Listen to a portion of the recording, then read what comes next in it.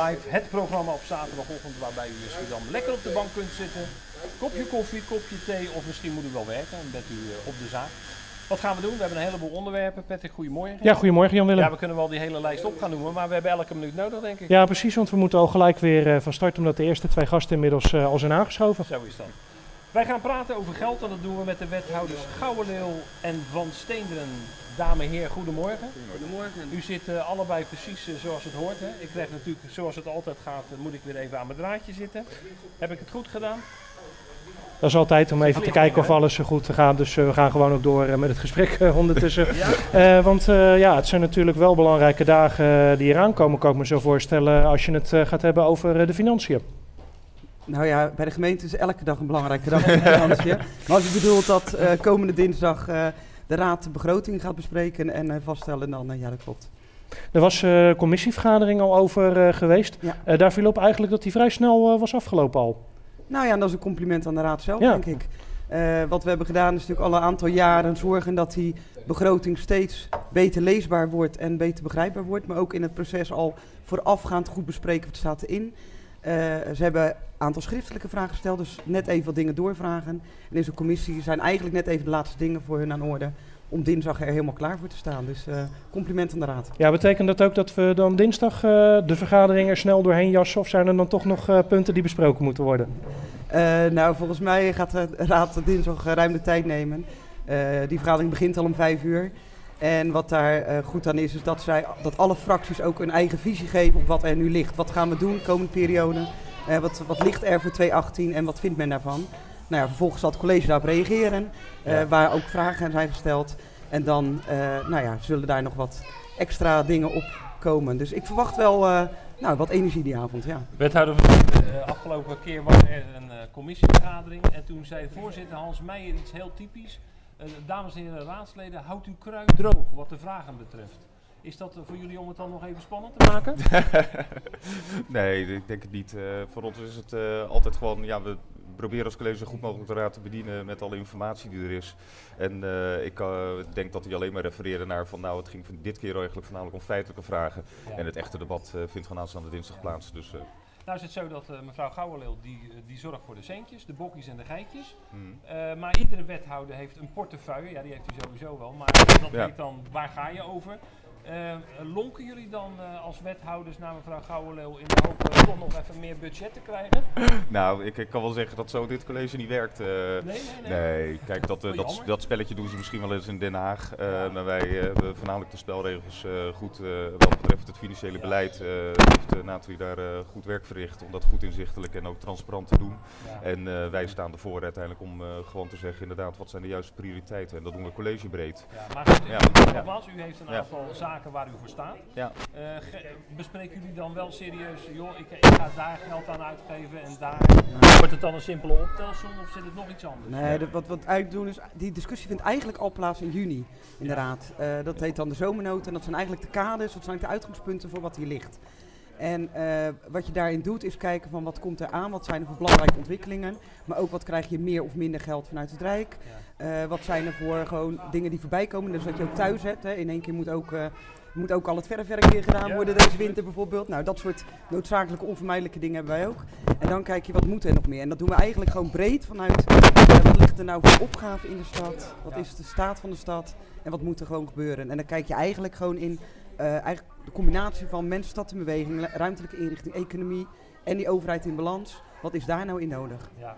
Ja. Ik heb toch eh, vandaag iets aan mijn oren, denk ik een beetje. Maar, Ja, eh, het zal eh, blijkbaar nog niet helemaal goed eh, afgesteld staan. Maar eh, ja, denk dat dat het is. Maar misschien goed om eh, aan te vullen, ik bedoel, zo zie je bijvoorbeeld in deze begroting hier dat we extra geld doen aan woningbouw. Dat is iets wat we in de zomer al hebben gezegd, dat is essentieel eigenlijk voor eh, de vernieuwing van deze stad.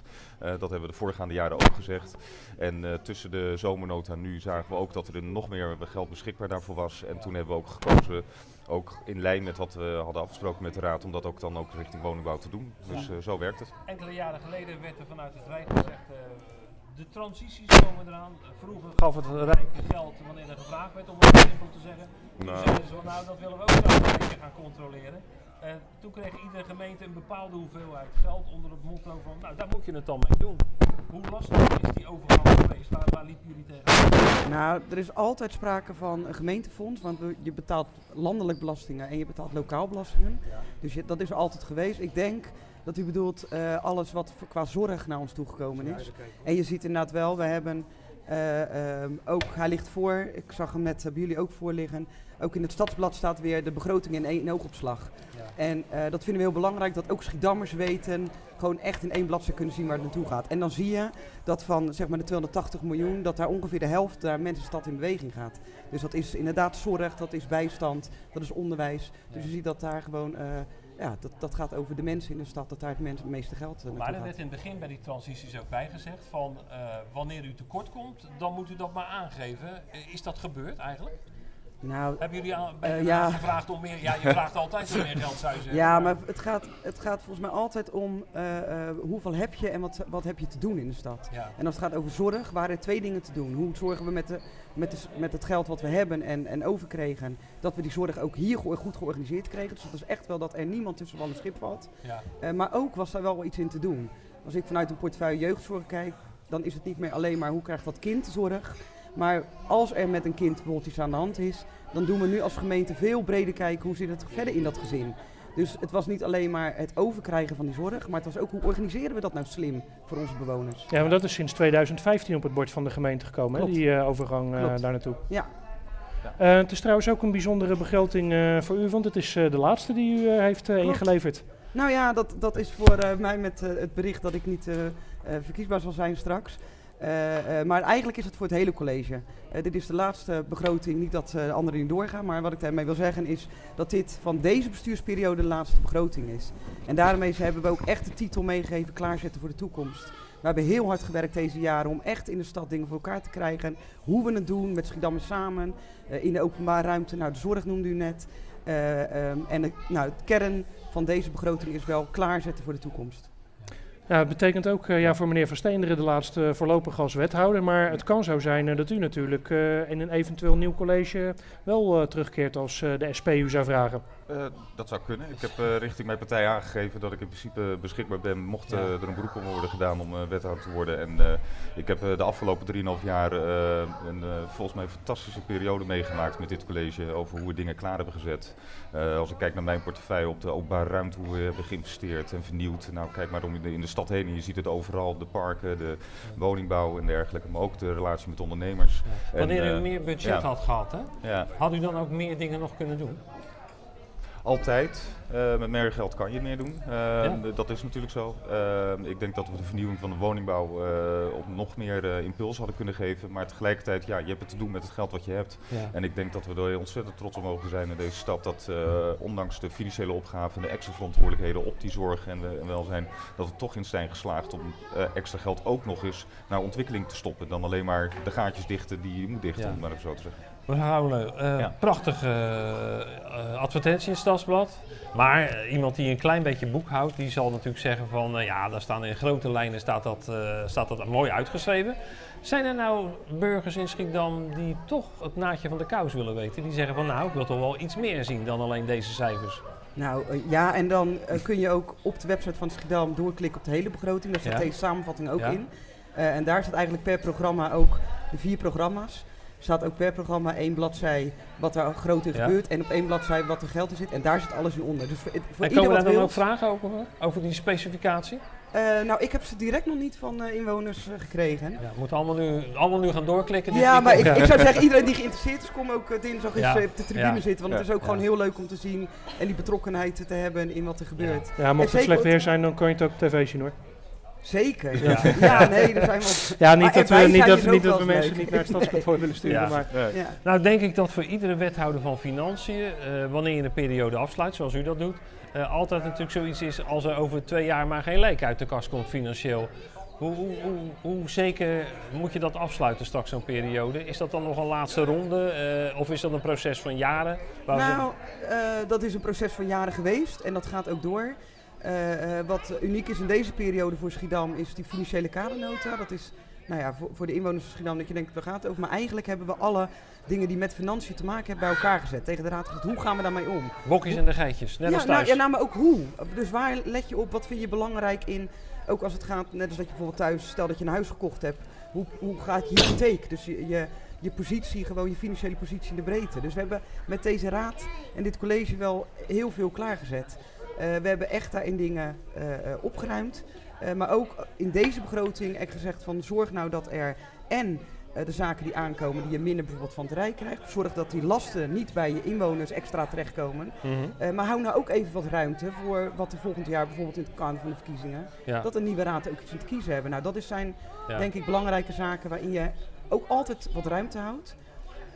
Wat in elke begroting zit en ook in deze is ook welke risico's zie je. Ja. En daarin zie je dat we echt, nou ja, voor elke risico wat we in beeld hebben, staat 2 euro tegenover. Dus Ja. elke euro risico staat 2 euro tegenover. Dus er zit zo'n 25 miljoen Ja. aan risicogeld ook in de begroting. Want dat is een beetje wat uw portefeuille betreft. U moet vaak grote projecten begroten, bouwprojecten.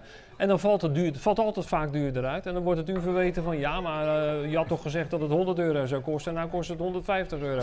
Ja. Hoe lastig is, is dat, eh, dat verhaal? Nou, eh, allereerst, het klopt niet. Want je ziet uiteindelijk aan het eind van het jaar, tot, tot- bij alle projecten die we hebben gedraaid, meestal eerder aan de pluszijde zitten dan in de minzijde. Ja. En anders is het inderdaad een kwestie van goed van tevoren risico's inschatten en daar geld voor reserveren. Ehm, en ten tweede, ook als je het hebt over de buitenruimte, wat wij ook de afgelopen periode ook eh, goed hebben gedaan, is niet alleen maar eh, geld lenen wanneer er een brug kapot is, om het zo maar Mhm. te zeggen. We hebben gewoon structureel dat allemaal in beeld en in Ja. de begroting neergezet, zodat je niet alleen maar dat incidenteel eh, bekostigt. En dat betekent dus ook dat de mensen die hierna komen, de volgende college, ook gewoon een begroting hebben waar ze op kunnen bouwen en niet zomaar verrast worden door nieuwe incidenten. Nee. Want ze zullen altijd daar dingen achter de hand hebben. Ja. Ja. Ten slotte eventjes, eh, we maken ons altijd zorgen over de minima. Mensen die eh, ja, het heel slecht hebben.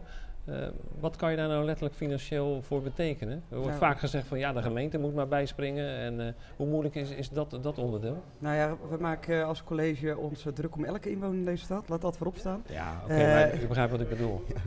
Ehm, nou ja, maar dat zeg ik wel, zeg ik wel echt. Want als het gaat over eh, hoe mensen, wat er voor lasten zijn voor mensen. eh, daar hebben we specifiek gewoon ook naar gekeken. Hou die lasten nou zo laag mogelijk. Doen we alleen inflatiecorrectie, kostendekkend als het over bijvoorbeeld afvalstoffen gaat. Dus hou dat nou echt zo dicht mogelijk en zo laag mogelijk. Steeds meer efficiënter aan kijken. Dat geldt voor iedereen. Eh, en daarnaast hebben we ook zaken als eh, nou ja, in het sociaal domein van hoe ga je aan de voorkant ook kijken dat dat niet gebeurt. Bijvoorbeeld in onze wijkteams zorgen dat schuldhulpverlening ook dicht bij de mensen in de wijk zitten. Eh, en natuurlijk zijn er ook zaken op het gebied van armoedebeleid. Van hoe zorg je dat bijvoorbeeld kinderen Ja, eh, kunnen ja. sporten, eh, cultuur kunnen doen als ze dat van huis uit niet kunnen betalen. Ja. Dus eh, in die zin eh, proberen we voor iedereen zo goed mogelijk te zorgen. Ja. Hoe omschrijft u het financiële beleid van de gemeente Schiedam in één woord? Degelijk. Degelijk. En u? Ja, solide en klaar voor de toekomst. Nou, dat zijn mooie woorden om mee af te sluiten, denk ik. U was vroeg de gast. U gaat nog even nagenieten van heerlijke koffie en Schiedamse leidingwater. Dank. Ja. Wij treffen elkaar vanavond weer bij het volgende. Dus even heel kort. eh, van de week eh, troffen we elkaar bij eh, de Boulodroom. Was een leuk dingetje, denk ik. Toch? was heel leuk. Nou, dat is natuurlijk helemaal fantastisch ook hoe je ziet hoe we, als je het hebt over de toekomst van de stad, dat ook dat qua sport is. Dat is en hoe we bij al die sportparken voor de komende 30 jaar alles ook qua beheer en exploitatie nu in de begroting hebben staan, maar ook hoe al die clubs nu klaarstaan om, nou ja, en sportief, maar ook maatschappelijk eh, ervoor te gaan de komende jaren. Ja. En vanavond de Smashing Fellows. Klopt. En dan is morgen een rustdag. Ik dank u beiden voor uw komst. Dank. Dank u wel. Alsjeblieft. Fijne dag.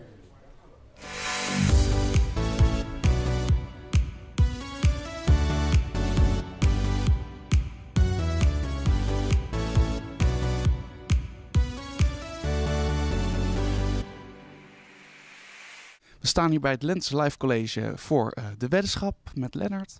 Eh Lennart, wat houdt de weddenschap nou in? De weddenschap houdt in dat ik samen met eh, leerlingen van het, eh, dit college hier, het Live College, de weddenschap aanga om drie boeken in zes maanden te lezen. Ja, en welke scholen doen er eigenlijk nou precies mee met de weddenschap? Nou, er doen eh 150 scholen mee. Waarom is de weddenschap nou eigenlijk opgericht? Ja, omdat het natuurlijk belangrijk is dat kinderen blijven lezen. Ik, eh, ik merk het ook bij mezelf. Kijk, vroeger was het heel normaal dat je boeken als Kippenvel las en van Carrie Slee. Maar tegenwoordig is het toch steeds meer eh, de social media die heerst. En eh, ik denk dat het heel belangrijk is om af en toe even je telefoon weg te leggen. Wat ook moeilijk is voor mij hoor. En wat denk je nou eigenlijk dat het voor bijdrage levert aan het leven van jongeren? Dat ze wat meer tot rust komen en dat ze niet constant uh, prikkels krijgen van, uh, uh, ja, van elkaar, van alle, alle media die er tegenwoordig is. Ik bedoel, het is gewoon heel verleidelijk om constant op je telefoon te zitten. En dat kan ja, doorgaan tot diep in de nacht. En ik denk dat als je meer rust neemt en gewoon een boek leest s'avonds in bed, wat ik echt zelf ook moeilijk vind. Dus voor mij is het echt wel een weddenschap om dit aan te gaan. Maar ja, ik denk, mijn vader zegt altijd: jongen, ga op tijd naar bed, lees lekker een boek, laat die telefoon even twee uurtjes weg. Nou, dat is denk ik heel belangrijk. Nou, het is dus een samenwerking tussen het Lentes Live College, Stichting Lezen en uh, de Bibliotheek van Schiedam. Waarom hebben jullie uh, besloten om mee te doen aan dit project? Uh, we zijn enige tijd geleden benaderd door de Stichting Lezen om aan dit project mee te doen.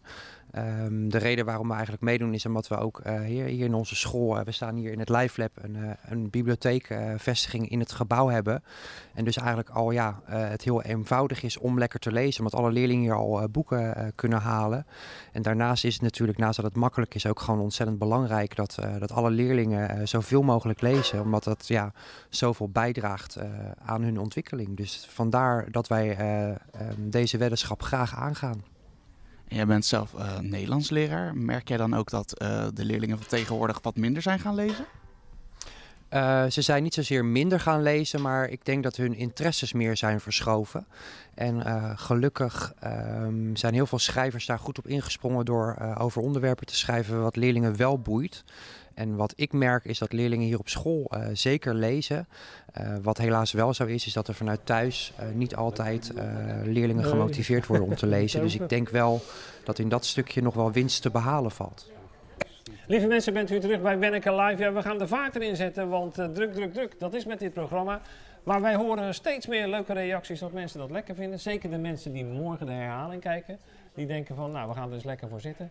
Tom, goedemorgen. Goedemorgen, Welkom. ook de luisteraars. Het weer, elke dag anders. Ja. ja. zeker. Want we krijgen waarschijnlijk een periode, Tom, uh, heb ik begrepen, dat het misschien uh, koud gaat worden. Nou, het gaat wat normaler worden, laat ik het zo stellen. uh, ja, we hebben een hele warme periode achter de rug. Ik wil eventjes terugblikken op oktober. Nou, de gemiddelde temperatuur was 2,3 boven het normaal gemiddelde. Normaal 14,12 graden en nu 14,3. Maximum 1,6, 16,6 tegen 15 normaal. 11,9 in de nacht tegen 9 normaal. Dat is alweer 2 graden boven het normaal gemiddelde. Ja, en wat de neerslag aangaat, 99 mm tegen 94 normaal. Dus dat was wel vrij normaal. Ja, dat is toch een vrij natte maand altijd. Ja, oktober, want dat hebben mensen de perceptie jaar. natuurlijk ja. van even heel veel geregeld. Maar het valt dus wel mee ja. uh, gemiddeld. Precies. Nou, we hadden maar liefst uh, vijf warme dagen. Waarvan één uh, zomers, dat was op de 16e, toen werd het echt 25 graden. De laagste minimumtemperatuur op de 29e 8,8. Hoogste neerslagsom 25 mm op de vijfde. Nou, een record is het dan nog allemaal niet. Maar goed, het zit dan toch wel ja. weer boven het normaal gemiddelde. Ja, en wat we vandaag zien, ja, het zal je verbazen of niet. Het kan zelfs 17 graden worden in november, in uh, Limburg althans. Nou, wij doen het niet zo uh, gek. Wij komen waarschijnlijk zo op de 14e, 14 graden. Gisteren was dat ook zo ongeveer. Maar ja, we zitten beduidend normaal, boven normaal. Want normaal is 11 en 10. Nou, daar gaan we dus wel morgen naartoe. Ja, wat zien we vandaag? Nou, we zien uh, de eerste zon in ieder geval schijnen met wolkenvelden. In de loop van de dag gaat de bewolking in ieder geval toenemen. Want een storing die vannacht regen heeft afgeleverd, die is het land uitgetrokken. maar er komt wel voor in de plaats buien. En die gaan vooral in de late namiddag en avond gestalte krijgen. Dus er vallen buien vanavond en vannacht. Er kan ook een klap onweer bij zitten, ook aan de kust. Nou, de temperatuur, zoals ik zeg, 14 graden. De wind komt uit het zuiden.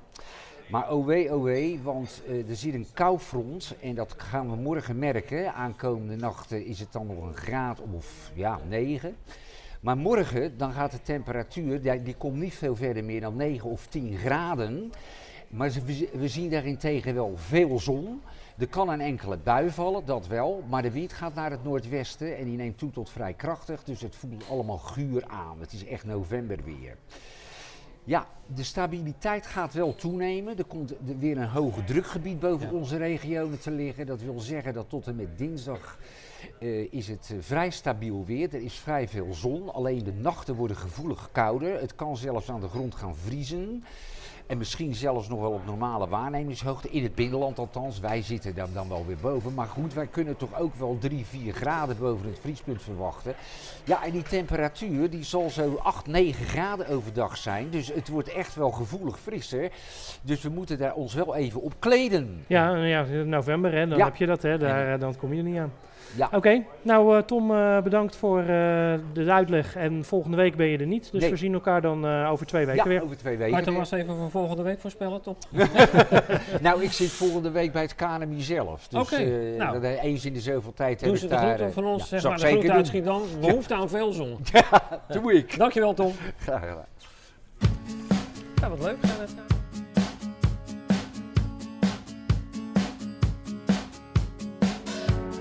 Beter dan met jou. De kou trotseren.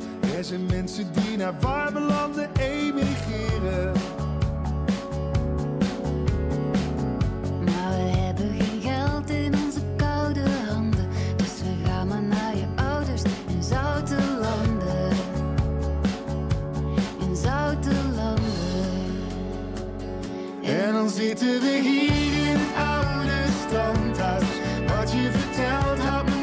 me nuchter en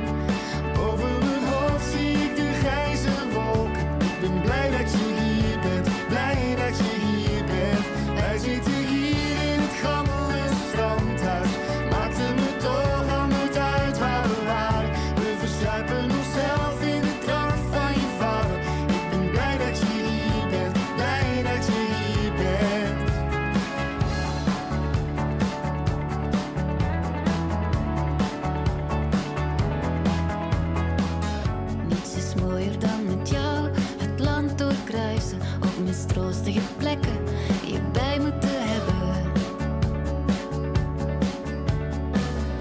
En te zien dat het goed is, te zien dat we bruisen. En met vodka en met blokking tussen reddingsbanden.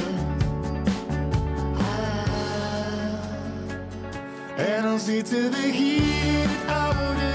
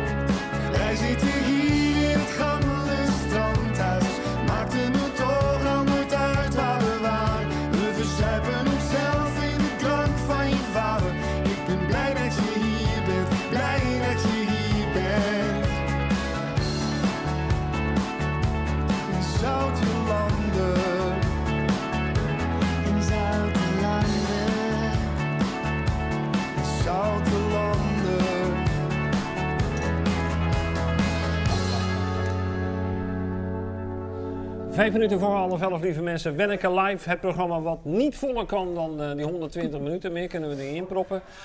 Aangeschoven Ina Blans. Van de week zei ik Blanche. Toen zei iemand het is Blans. Ja, het is S. gewoon heel erg op Streepje vissen. Schiedams, inderdaad. En daarnaast zit eh, de, de oorsprong, de vader van Ina. Dat is Harry. Harry, welkom terug in het programma. Het stemmetje is nog niet helemaal top, hè, Harry. Dus we doen het even met... eh, maar ik ben blij dat je weer terug bent. Ba- Back on the base. Ina, we gaan eh, eventjes eh, een hele tijd terugpakken van de erken. Ja. Want dat, eh, dat was er een beetje bij ingeschoten. Dat is onze schuld geweest. Maar goed, beter ingehaald Ik dan wil te net laat. zeggen, Zo dat is het. maakt niks uit, toch? Ehm, Laten we even beginnen bij iets heel leuks. Jullie hebben bezoek gehad van de twee oudere tijgers van, van Nederland, Gerard en Gordon. Ehm eventjes voor de mensen die er toch wel wat van gehoord hebben, maar totaal gemist hebben. Ja. Hoe is dat tot stand gekomen, dat contact? ja, dat is heel vreemd tot stand gekomen. Dat is eigenlijk op een vrijdagochtend geweest. Eh, ik zat te werken op kantoor in de Erker en we hebben een mailtje gestuurd. Zo heel spontaan kwam dat op. En s'avonds werd ik gebeld van, door, door een producer en een heel verhaal verteld. En dan in de enthousiasme van de Erker eh, het hele verhaal verteld hoe wij ooit ontstaan zijn. En eigenlijk hadden, dacht ik, die is in de pocket. En toen werd er gezegd van ja, maar is het een eigen gebouw? Nee, is van de gemeente. Nou, dan gaat het niet door. Dan gaat het niet door. Het moet een eigen gebouw zijn. Ja, en toen ben ik, eh, kijk, ik ben een kind van mijn vader. Joh, nou Harry, dat vind ik wel fijn dat dat nu eindelijk Cordaal- Het is nu is bevestigd. voor ja. Ja, het is bevestigd. Dus ik ben, eh, ja, ik ben gelijk van wat nou? En ik sprong Ja. gelijk in de bres voor al die vrijwilligers. Want daar Ja. doen we het uiteindelijk ook voor. Ja. En voor Schiedam natuurlijk. En toen zeiden ze, nou ja, door je enthousiasme heb je over een half uur tijd. En dan kom ik langs. En toen zijn mijn collega en ik eh, gebleven. Ja. En er kwam een producer. We zijn in gesprek gegaan en de dinsdag daarop eh, werd onze keuken eruit gemold. Kijk, dat bedoel ik. Letterlijk gemold, echt heel bang, de Ja, haven erin. ja.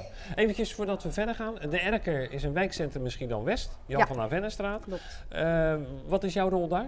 Ik ben bedrijfsleiding. Ja. Ja, ik ben daar ingerold. Als, eh, ik, ik loop daar al vanaf klein kind. Het bestaat nu 34 jaar, het pand.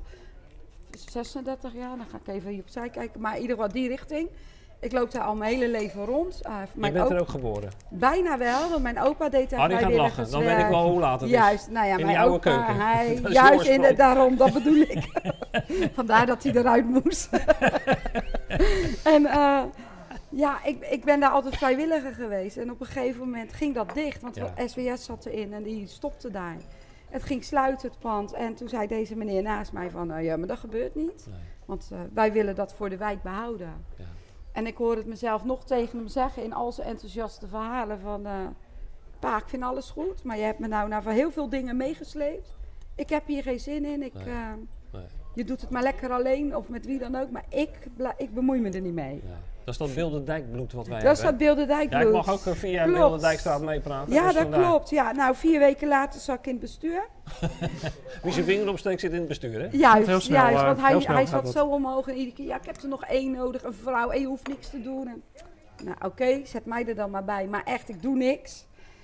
Eh, nou ja, het Bilderdijkbloed, wat je al zegt, organiseren, dat, dat doen we. Ja. Dus dat bleef ik toen ook doen. Dat werd mijn taak in het bestuur. En na, na een jaar, ja, het, het eerste jaar was echt zuiver de financiën. Kijken wat kunnen we, wat, wat, hoe gaan we dit allemaal doen.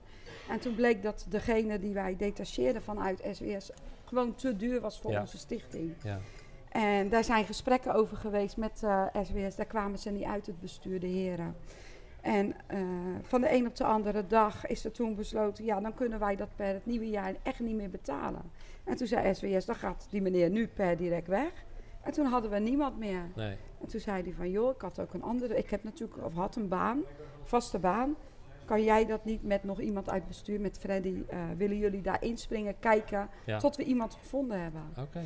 Nou. Ik zit er nog, ik zit er nu, ik ga mijn derde jaar in. Ja. Ja, nou, en dan eh, heb je die ontwikkeling natuurlijk eh, van eh, Gerard Joling en Gordon die dan eh, langskomen. Nou, het is nu Ja. prachtig. We hebben het ook op tv allemaal eh, Ja. kunnen zien. Ja. Hebben jullie er al gebruik van gemaakt, van die nieuwe Nou, ik, dingen? ga- ik ga jou vertellen, die cursuskeuken, voordat die klaar was, hadden wij daar al plannen mee. Van als die, dus voordat Geer en Gooi kwamen, we zouden heel graag wat dingen voor de wijk meer willen doen. Zoals? Koken, Eh, mensen die alleen zijn. Ik zeg niet eenzaam, want eenzaamheid en alleen is iets anders. Ja. Ehm, mensen die alleen zijn, die misschien met elkaar willen eten of willen koken. Daar hadden we al plannen over, maar dan moest eerst die keuken verbouwd worden. Nou, dat ging ineens in sneltreinvaart. Eh, je kan bij ons nu vier keer in de week warm komen eten. Een echte maaltijd. Dus Zal ik voor- gelijk even Ja, doe maar gelijk. eh, voor- even het is, ja. nou, vooraf, op het menu en, eh, ja, vooraf een tussenmenu en dan een toetje. Ehm, we hebben een heel maandmenu, dat hangt op, dat staat ook op internet. En dan kan je voor 5 euro kan je inschrijven, 's middags. Lijkt me een kazerne, Harry. En dan eet je lekker mee. Maandmenu. Ja, inderdaad, kan je kijken wat je lekker Ja. vindt en dan eet je mee. En we hebben twee keer in de week een lunch voor 2,50. Nou, dan kan je ook van alles en nog wat. Het wordt lekker gemaakt waar je bij staat. Nou hebben die mensen dat programma gezien, hè, waar jullie eh, in de hoofdrol in speelden. Ehm, ehm, hoe werkt dat? Wordt er dan heel veel gefilmd en worden dan de leuke fragmentjes eruit geknipt? Ja, ze zijn twee hele dagen geweest filmen. Waarvan Geer en Goor misschien drie uurtjes maar aanwezig Ja, geweest zijn. Want zo Die werkt doen even dat. wat leuks. Eh, de verbouwing is vooral door de vrijwilligers gedaan. Heel veel, we hebben heel hard en heel veel gewerkt. Met z'n allen. Eh, van s ochtends eh, 8 tot s'nachts gingen we door. Nou, de filmdag is bekend, de laatste shot. Dat is op 11, april- oh, 11 juli geweest. De erker was nog helemaal niet klaar. Die producer kwam echt binnen. "Wauw, wat, hoe gaan we dit oplossen? Nou, dat wordt dan... Hoe het is gebeurd, is gebeurd. Maar die vrijwilligers met het hele team heeft er gewoon iets moois van gemaakt. Ja. En we zijn nog steeds aan het afwerken hoor. Dat moet ik je wel eerlijk Ja. zeggen. Ja, dat is Maar natuurlijk het- even voor de is- buitenkant. maar maar eh, het zeg- is zo mooi. We zijn er zo verschrikkelijk blij mee. ja, Het ik wil net zeggen, het is eh, wat dat er gaat voor eh, het gebruik ja, wel, wel klaar. Het is natuurlijk. echt heel mooi. Ja. En het wordt volop gebruikt. Ja. Hoe Ja. werkt dat nou? Zij gaan dan in dat programma bellen en dan komt er een bedrijf en die zegt, ah, ja, dat doen wij wel. Ja, is dat hun- werkelijk zo zwart-wit Ja. dat alles betaald wordt? Ja. Nou, ja, nou ja, heel zwart-wit. Ehm, kijk, er wordt van tevoren gevraagd, wat kunnen jullie zelf, Zelf, uitgeven? Nou, wij zijn heel arm. Ja. Eh, Dat is gewoon zo. Wie dat ook vraagt, wij hebben geen rode cent. Ehm, zie je dat kruisje Ja, staan? ik, ik wou al met een, met blikje rond. Nou, dat, dat, dat waarderen we wel. Ja, ja, dat waarderen we nee, heel nee, erg. nee, maar dat geven we dan ook aan. Van ja, er is wel iets, maar eigenlijk kunnen... En dat is ook echt waar hoor. Dat Ja. kunnen we eigenlijk ook niet missen. Nou ja, we hebben dus een hele kleine bijdrage voor de vloer moeten doen. Want is veel meer gedaan in het, in Ja, het dat- programma ja, dan klopt. afgesproken. Ja. Daar zijn we ook heel dankbaar voor. Maar om die garantie voor die vloer te krijgen, moesten we een klein stukje betalen. Maar heel langzaam met al die kleine dingen hebben we er zelf ook heel veel geld al ingestopt. Maar met wat we gekregen hebben, is dat peanuts natuurlijk. Voor ons is het heel veel. Ja, want ik kan me voorstellen dat het toch een beetje als een geschenk uit de hemel nog eh, Dit is komt echt een voor, voor geschenk. jullie. Dit is echt een Ja. geschenk geweest. We hebben alles nieuw, hè? Ja. Maar Ina, is dit niet ook het moment om te eiken? Om te zeggen van nou, we hebben dit verleden gehad. We hebben nu een nieuw clubgebouw of een nieuw buurthuis. Hoe gaan we de toekomst in? Want, Nou, dat- hoe, zie jij, hoe zien jullie de toekomst van, van bijvoorbeeld de erken? Wat, wat wil je daar meer aan toe gaan voegen? Nou, wij zijn al heel druk bezig geweest. Want het, zoals ik zei, eerste jaar financieel. Het tweede jaar het gebouw. Dat is in het sneltrein gegaan. Ja. Het nu, het aankomend jaar, het vullen van het gebouw. Maar omdat die sneltreinvaart erin gekomen is, kan ik zeggen, wij zijn voor 83% gevuld. Zeven dagen in de week. Van de ochtend tot de avond. Dus we zijn nu echt puntjes op de i aan het zetten. Waar kunnen wij meer kwaliteit gaan leveren? Oh, vandaar dat je dat weekmenu hebt. Je eet gewoon daar ook zo. Je bent gewoon niet meer thuis. Ja, ik eet, Kan nee, inderdaad. Ja, nee, mijn bed staat in de kelder daar. Ja, ja, kijk nou uit. Want Ja. zo ben jij zelf ook voortgekomen. Juist, nee, maar dat klopt. Ja, daarom zeg ik, het is echt gebleken. Ik ben er gewoon zeven dagen in de week aanwezig met heel veel vrijwilligers. Hè? Ik echt niet alleen, want dan lukt het gewoon niet. Al die mensen erbij. Want Maar heeft het, het, eh, zeg maar de clubhuizen en de beurthuizen, in jouw ogen, gaan die de komende jaren nog een functie hebben? Want er zijn ook mensen bij die zeggen, ja, dat is niet meer van deze tijd. Jonge mensen die gaan daar niet meer naartoe. Hoe zie jij dat? nou ja, ik zie andere clubhuizen in Schiedam, daar zie ik dit helaas gebeuren. Ja. En ik heb daar ook wel heel veel ideeën persoonlijk over. En ik ben daar ook door benaderd door wat mensen van, joh, kan jij daar komen of kan jij daar? Maar dat heeft geen nut. Nee. Ons clubhuis, zoals jij het noemt, eh, werkt. We, we zijn echt een centrum voor de wijk geworden. Ja. Maar ehm, ehm, je moet dat bloed van die wijk hebben. Je moet het gevoel voor die wijk hebben. Ja. mij in Oost zetten of mij in Nee, Zuid is heel heeft anders. helemaal geen nee, nut. Want ik, ik, ik hoor daar niet. Ja. Dus als je het doet, moet je echt al die gedreven mensen hebben. Kijk, wij hebben een team van 50 vrijwilligers. Maar er zijn er maar 12 die dat bloed hebben. En op die 12 draait het. Ja. En dat klinkt heel hard naar die andere vrijwilligers, maar dat is niet zo. Want zonder die anderen kan ik het ook niet doen, hè? Je hebt weer positief, West Juist, positief. juist. Ja. En die moet je hebben. Als je dat niet hebt, Nee. Ina, tenslotte, eh, laten we inhaken op iets wat bijvoorbeeld nu op het ogenblik speelt. Ja. Jullie zijn bezig met chanticoren. Ja, wij werkt hebben, Nou, wij hebben drie weken achter elkaar drie chanticoren bij ons in het gebouw op zondag. De toegang is gratis, dus kom allemaal zou ik zeggen. Vorige week hebben we de eerste gehad. Het is eh, meer dan 400 mensen in het gebouw Zo, gehad. kijk. Die kwamen kijken. Het is super gezellig en druk. Eh, die, die drie dagen zijn dus negen chanticoren. Elke week hebben we een eh, winnaar, een dagwinnaar. En dadelijk op, op 18, 19 november, sorry, hebben wij de finale dag. Dan zijn er drie dagwinnaars komen daar en dan is het één, één groot feest. Maar ik moet je zeggen, het is gewoon vier zondagen feest in de Erk. Het is Ja. gratis, dus kom. Jij En, bent eh, eh, tot je ervan genieten. 67ste, jouw agenda is wel ingevuld? Mijn agenda is zeker voor het komende jaar dagelijks ingevuld. En daarna hoop ik toch dat we wat meer vrijwilligers hebben met dat eh, bloed voor de erken. Bij deze. Want die zoeken we echt. Mensen, kom alsjeblieft. Ja.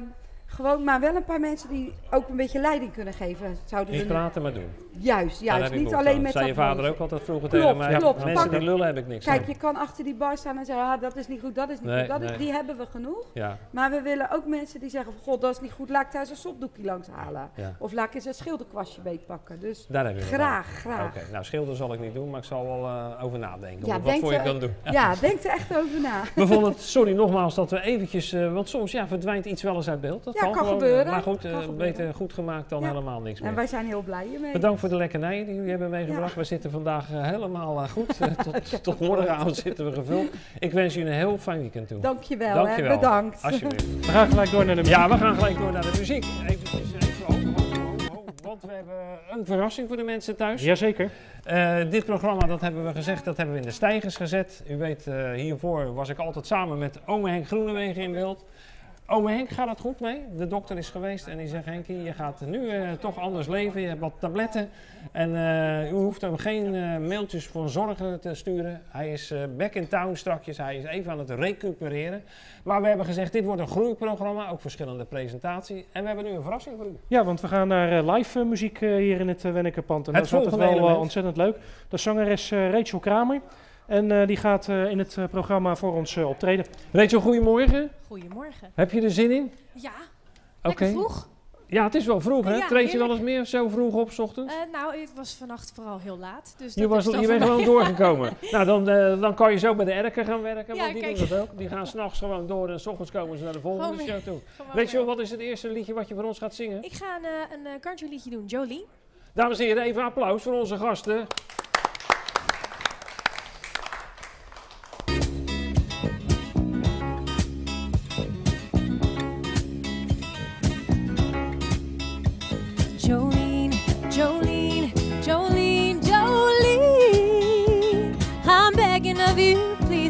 Take my man. Jolene, Jolene, Jolene, Jolene. Please don't take him just because you can. Your beauty is beyond compare with flaming locks of auburn hair,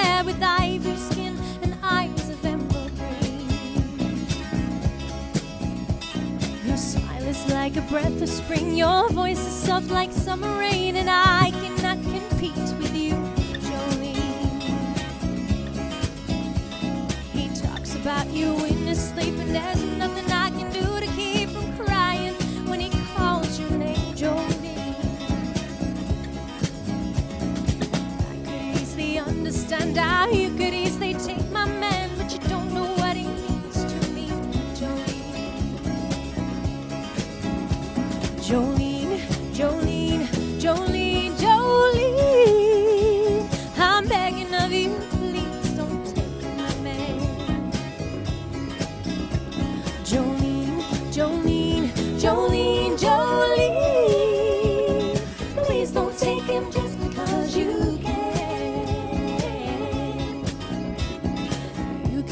choice of men. I could never love again. He's the only one for me, Jolene. I had to have this talk with you. My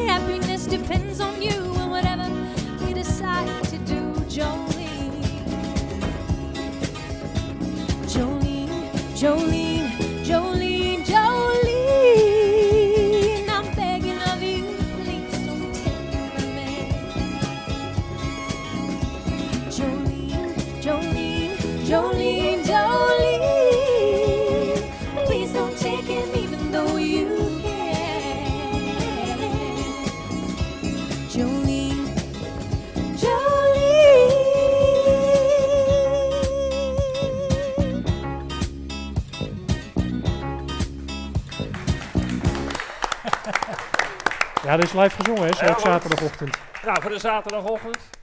Neem lekker een kopje thee.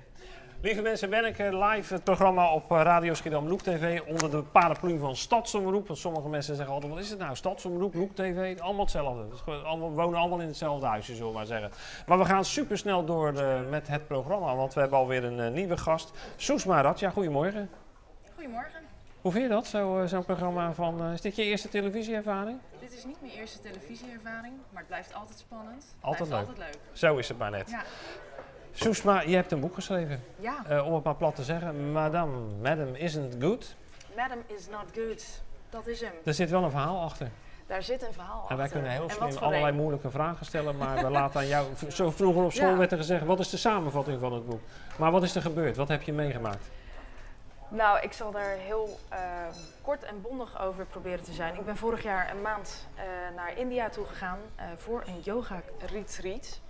En eh, in India logeerde ik bij een Indiaanse dame in huis. En daar werd ik ineens met mijn neus op de feiten gedrukt. Daar woonde namelijk in dat huis een verhandelde huisslavin. En de vraag is dan, wat doe je dan als gast? Hoe kwam je daarachter? Nou, ik kwam erachter omdat eh, ik zag dat er een hele rare verstandhouding gaande was tussen eh madam, hè, de eigenaresse van het huis, en het meisje. Ehm, het meisje durfde bijvoorbeeld niet eh, spontaan te praten of een antwoord te geven. Ze keek altijd eerst madam aan, mag ik antwoord geven? En ja, ze bleef het liefst onzichtbaar als het even kon. En ik had juist heel veel interesse naar dat meisje. En ik denk, ja, waarom ben je nou zo afstandelijk? Ja, wat is er aan de hand? Ja. Nou ja, en zo is het balletje eigenlijk een beetje gaan rollen. Dat ik Maar dacht, hoe, iets hoe was je niet. eerste contact dan uiteindelijk? Want uiteindelijk hebben jullie contact toch met Ja, elkaar gekregen. Hoe ja. is dat tot stand gekomen? Nou, dat was nog best wel iets lastigs, want eh, dat meisje eh, spreekt een andere taal. Eh, zij spreekt Hindi. Ehm, laat mijn familie nou Hindi spreken, maar ik zelf niet. Ik ben van Hindoestaanse komaf. Eh en ik dacht, ja, hoe gaan wij elkaar in hemelsnaam begrijpen? Ehm, en toevallig stond ik op een moment met, tegenover dat meisje en mijn moeder belde over de WhatsApp. Gewoon om te vragen hoe het met me gaat. En ik dacht, hé, hey, jullie spreken allebei Hindi. En zo is dat linkje Ja. gelegd. Het eerste gesprek ging gewoon over koetjes en kalfjes. Maar ik had echt ja, nooit kunnen bedenken wat voor bizar verhaal er achter dit meisje schuil ging. Maar merk je tijdens dat telefoongesprek, merkte je toen op dat dat meisje misschien heel veel ging praten, dat je dacht, hé, hey, dat is raar? Was dat een beetje het signaal? Nou, dat meisje was eigenlijk heel timide. Ik denk dat ze ook hele duidelijke instructies had gehad van, Telefoon? van madam. Ja. Geen contact met vreemden, ook niet met al die yoga- yoga-studenten die van alle landen vandaan komen. Gewoon Ja. doe je ding en wees eh, voorzichtig. Maar ik denk op dat moment dat dat meisje met mijn moeder sprak en dat ze dacht: hé, hey, ik kan Hindi spreken, ik kan me verstaanbaar maken. Eh, toen moet zij waarschijnlijk ook wel gedacht hebben: dit zou mijn kans kunnen zijn. Ja, dit is het escape gaatje. ja. Precies, en toen merkte ik ook dat zij zelf ook wat meer toenadering naar mij eh, begon te zoeken. En ja, zo hebben wij eigenlijk een, een band opgebouwd. eh, eigenlijk een, een vriendschap in een hele lastige situatie. Gebaren. Want ja, we hadden natuurlijk altijd eh, madam. Die, eh, Waren er geen andere mannen in huis? Want het verbaast mij zo dat het een madam is. Dat is al Ja. heel vreemd. Je denkt, Ja. zo'n meisje valt in, in slechte handen van mannen.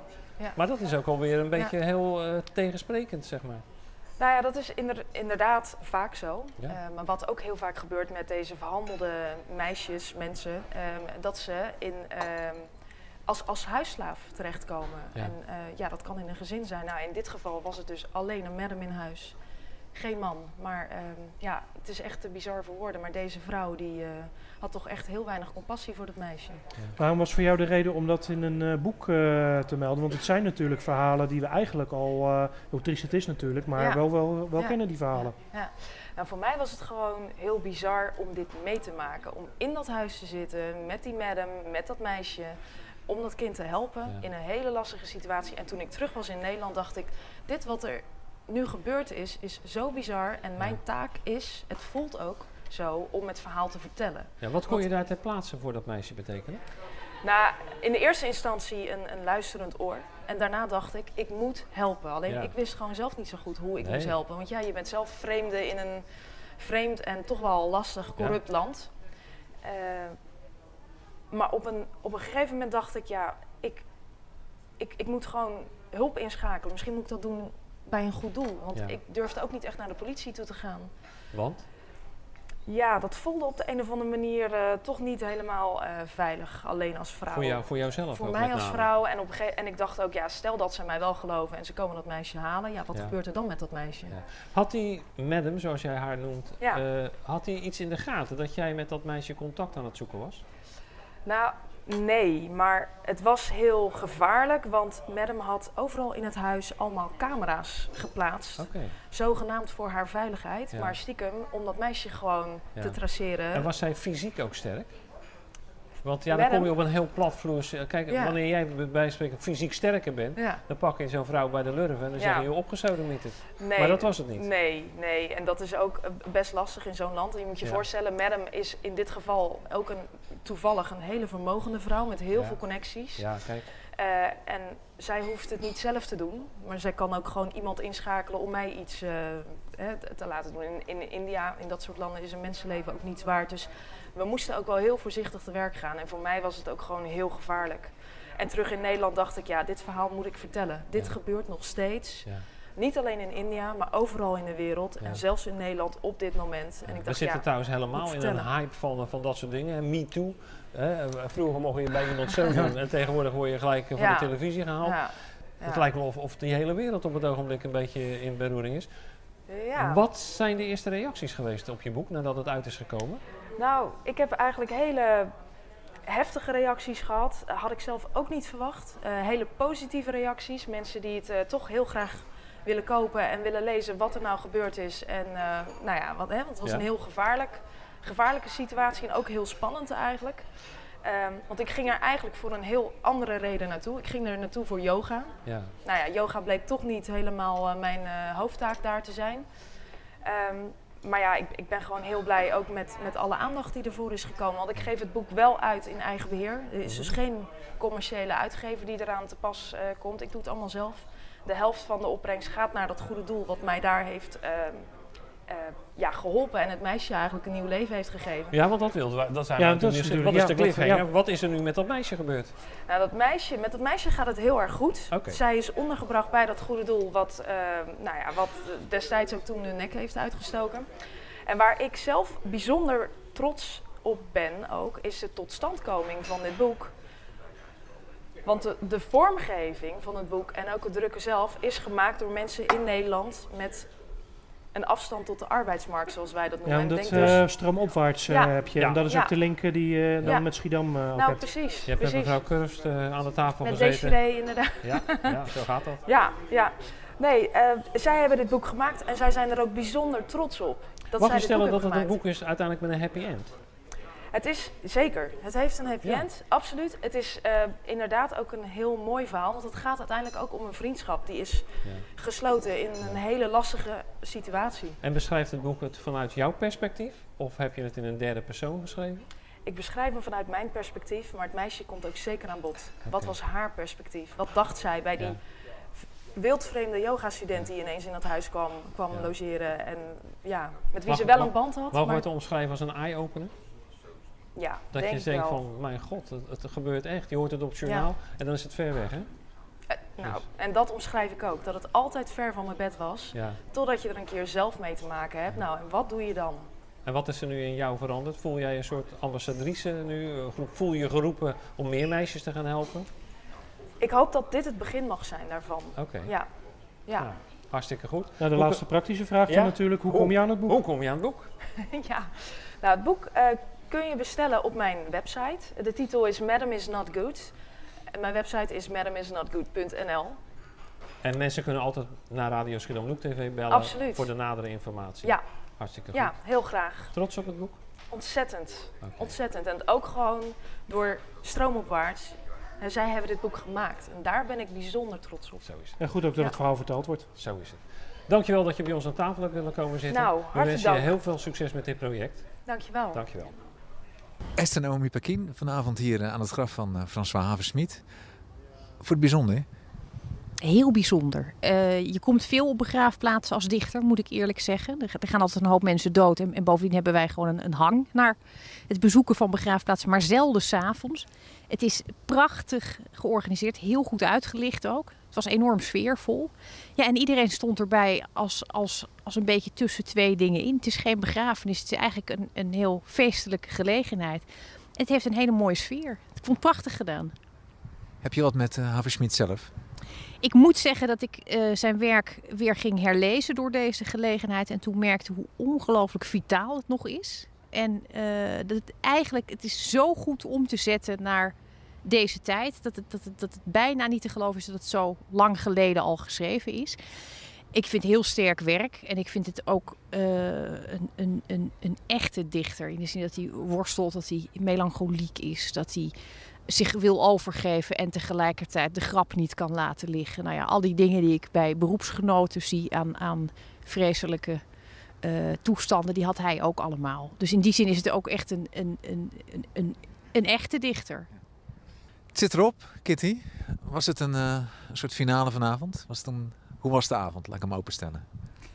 Het was een heerlijke avond. Het was een, echt een, een einde wat we wilden. Dus we gingen het festival ten graven dragen. En we hebben dat gedaan op een hele eervolle, bijzondere, intense manier. Dat ik, ja, ik ben heel blij.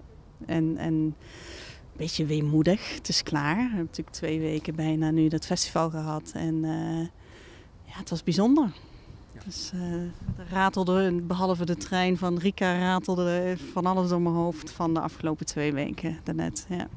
Dus wat dat betreft een finale waardig vanavond. Ja, absoluut. Ja, en mooie sprekers. Echt uh, Esther, uh, die uh, ja, dichter des vaderlands. Dat staat dan eventjes hier bij ons festival erbij. En Gerald, Charlie Dichter, prachtig wat hij heeft gedaan ook. Dus blij. Ja. 12 dagen, 13 dagen Piet Boutjes parade. Hoe zou jij die samenvatten? Is het te doen in een paar woorden? Wat ik net al zei, bijzonder. Um, geslaagd. Geslaagd is echt een woord ook uh, wat in me opkomt. Want wat we wilden, wat we aan de voorkant hebben afgesproken met elkaar, wat we uh, wilden bereiken, was een festival voor iedereen toegankelijk, breed gedragen. En uh, daar zijn we geslaagd. Het is breed gedragen door partners in de stad, door bezoekers uh, vanuit allerlei hoeken in Schiedam, ook buiten Schiedam. Omarmd door iedereen. Dus ja, geslaagd is wel het woord. Lieve mensen, welkom terug bij Wenneke Live. Ja, wat u niet ziet, dat zien wij wel. Uh, er is natuurlijk nu ook de balletschool aan de gang. Dan komen er allemaal van die hele kleine prinsesjes binnen met allemaal uh, petticoatjes en dingetjes. Dus uh, er wordt veel gedanst. Maar wij gaan gauw door met het programma, Patrick. En dan gaan we het over iets heel anders hebben. Ja, het sluit eigenlijk ook een beetje aan op het vorige onderwerp. aan, Want uh, ja. we gaan het over uh, boeken hebben en over uh, de campagne Nederland leest. Die is Ja. in november, is afgelopen woensdag begonnen. En bij ons zit Edmond Steens van de Bibliotheek Schiedam. Want ja, dit is een campagne waar jullie ook al jaren trouwens op aansluiten, hè, dat Nederland leest. Ja, klopt. Het is inderdaad een landelijke campagne met elk jaar weer een ander thema. Dit jaar is het thema robotica. En daar sluiten we op verschillende manieren wel Wat aan. is robotica? Robotica is het inzetten van robots om eh, het leven gemakkelijker te maken. En een discussie die nu ook speelt inderdaad van uh, hoe ver gaan die robots en in hoeverre gaan ze ons leven straks overnemen in ons werk en Ja. dat soort dingen. Er zijn een aantal stellingen die ook eh, gedeponeerd zijn, die kun je online eh, kun je op reageren. Ja, kun je verliefd worden op een robot? Goeie vraag. Ja, het zijn allemaal Zou dingen je die nu je, spelen inderdaad, eh, ja. willen geopereerd willen worden door een robot of toch liever door een mens? Dat zijn allemaal vragen Ja. die eh, ja, aan Dat was ook het leuke in de campagne, want het was afgelopen woensdag of donderdag dat uh, schrijver Ronald Gippard uh, bij Pauw uh, te gast was. Ja, en die had ook al een boek laten schrijven door een, uh, door een robot. Ja, AziBot heet de computer. En vanaf 6 november kunnen mensen die app ook downloaden en zelf een, een verhaal gaan schrijven. Dus dat is wel erg grappig. Ja, ik heb het gezien, het item, en ik eh, vond het op zich wel fascinerend hoe dat dan eh, gaat. En het steeds meer algoritmes worden in zo'n eh, programma gestopt en dan ja, kunnen we van alles mee doen. En dat kan op allerlei gebieden, dat is zo leuk tegenwoordig. Dat je verhalen kunt schrijven dus door Ja. een robot. En, Even over die campagne zelf. Nederland leest. Kun je kort uitleggen wat het nou inhoudt uh, op zich, die campagne? Het begint met een, uh, een boek wat centraal staat. Vorig jaar waren het meerdere boeken waar mensen uit kunnen kiezen. De hele maand november krijgen ze dat boek gratis. En de bedoeling is dat heel Nederland het gaat lezen en er met elkaar over gaat praten. Het boek is van uh, Ik Robot van Isaac Asimov. En uh, er is ook een film van gemaakt. Die gaan we morgenmiddag vertonen in de bibliotheek. En ja, er zijn nog heel veel eh, verschillende activiteiten voor jong en oud gedurende de maand. eh. Is het ook een campagne waardoor jullie ook weer nieuwe mensen in de bibliotheek eh, zien? Mensen die eh, bijvoorbeeld eh, niet zo aan het lezen zijn, maar bijvoorbeeld door Nederland leest en dat gratis ja, boek het is gaan een lezen? leesbevorderingsprogramma, dus het, dat hopen we in ieder geval wel. Het is wel een van de doelstellingen natuurlijk van het geheel. Ja, een interessant gegeven dat robotica, want ik kan me voorstellen, daar zit je al heel gauw een beetje in de sfeer van science fiction qua genre. Dat klopt, ja. Dus die boeken hebben we natuurlijk allemaal wel verzameld en bij elkaar gezet. En eh, ja, we hebben deze maand ook nog een eh, tentoonstelling over eh, Pink Panther. Maar eh, de, degene die die heeft samengesteld had ook nog verschillende comics en de verschillende cel- cells van eh, eh, het, animatie die dan weer op robotica sloegen. Dus daar hebben we ook weer een eh, kast mee kunnen vullen. Dus we proberen overal weer op aan te sluiten. En dan krijg je weer allerlei links met, eh, met mensen in, in Schiedam. En Zijn het dan ook de boeken die je wat eh, verder eh, naar voren schuift in de kast om te laten zien van dit ja. zijn de boeken over Ja, eh, natuurlijk. Die staan uh, bij de uitleen-terminals klaar. Dus eh, ja. Nou, dat is, eh, ja, en wat dat er gaat, je zei het al, eh, er gaan ook een aantal eh, activiteiten plaatsvinden hè, in de agenda. Wat, wat gaat er bij jullie allemaal in de komende maand gebeuren? Dus morgen is het Ik Robot, iRobot, de verfilming met Will Smith. Dat die is wel voor volwassenen. Dus, zo om twee uur begint Twee hij. Ja. Dan hebben we woensdag Wall-E, het, de animatie over Van Pixar, ja. Ja, een klein robotje die de, de wereld, de aarde weer schoon gaat maken. Dan hebben wij eh, een aantal eh, workshops voor kinderen. En dat is 15 en 22 november. Het is een tweedelige workshop animatie maken, maar dat doen we via Scratch. Dat is programmeren via Scratch voor kinderen. Daar zijn nog plaatsen voor, dus die kunnen zich opgeven via de bibliotheek schiedam.nl. Dan eh, sluiten we bij het Suiker- Suikerzoet Filmfestival ook weer aan met een film die over robotica gaat. Een andere verfilming van een boek van Isaac Asimov, Bicentennial Man. Eh, ja, want iRobot is niet echt heel erg suikerzoet, dus die, Ja, die, die, Ja. die doen we Moet dan je ook zelf. een beetje opletten, ja, qua- qua In programmering, ja, ja. In eigen beheer eh, laten we die zien en dan tijdens suikerzoet eh bij Satanical Man. En dan hebben we aan het eind van de, de, de maand ook nog een workshop Lego eh, robots maken. En dat is een hele populaire, want een van de twee zit al vol. Ja. We hebben er eh, twee op de, de middag. Onverwoestbaar Lego. Hè? Ja, absoluut. Blijft, eh, ja. altijd. Tijd- tijdloos. Edmond, eventjes een eh, zijstapje. Gisteren of eergisteren, meen ik op het journaal, lieten ze zien hoeveel bibliotheken de laatste jaren er verdwenen zijn. Kan jij omschrijven waarom wij in Schiedam gelukkig daar nog niet toe behoren? Omdat wij heel duidelijk een, een andere weg hebben gekozen. en niet alleen maar, ja, dus niet meer alleen maar fixeren op, ja, niet alleen maar fixeren op die boeken. En ja, dat blijkt gewoon een Maar hoe succes. moeilijk is die balans tussen, uiteindelijk komen de mensen als basisgegeven voor boeken. Eh, aan de andere kant bieden jullie heel veel andere dingen aan. Hoe moeilijk is dat om dat in balans te houden? Nou, die collectie die staat er en eh, die is kleiner geworden, maar daarentegen kunnen alle boeken weer overal en nergens vandaan halen. Dus, eh, Wordt even niet goed voor de camera, Ja, even er goed... gebeurt- gebeurt hier van alles in dit programma, dat wil je niet weten. Je wordt gewoon met je stoel heen en weer geschoven. Ja, de zon voor de mensen thuis die denken wel eens in als je stond te lachen. Maar de zon die gaat langzamerhand door het gordijn komen. Maar dat is eigenlijk een beetje samengevat eh, jullie, eh, jullie ding. Van jongens, niet alleen boeken doen, wel zorgen dat de basis er is. Ja. Maar, maar bied vooral veel andere dingen aan. ja, en we proberen elke keer dus weer een link te krijgen met, met, met, met dingen die die spelen in de stad, zoals suikerzoet. En, eh, Ja, ja. Nou hadden we net Soesma in het programma. Die heeft een boek geschreven, een heel betrokken boek. Eh, hoe, hoe pikken jullie dat soort solo-projecten op? Eh, moet dat toegestuurd worden of hoe gaat dat? Nou, dat gebeurt vaak in dit soort gelegenheden. En, eh, even opletten, hè, want we zitten even te lobbyen voor je.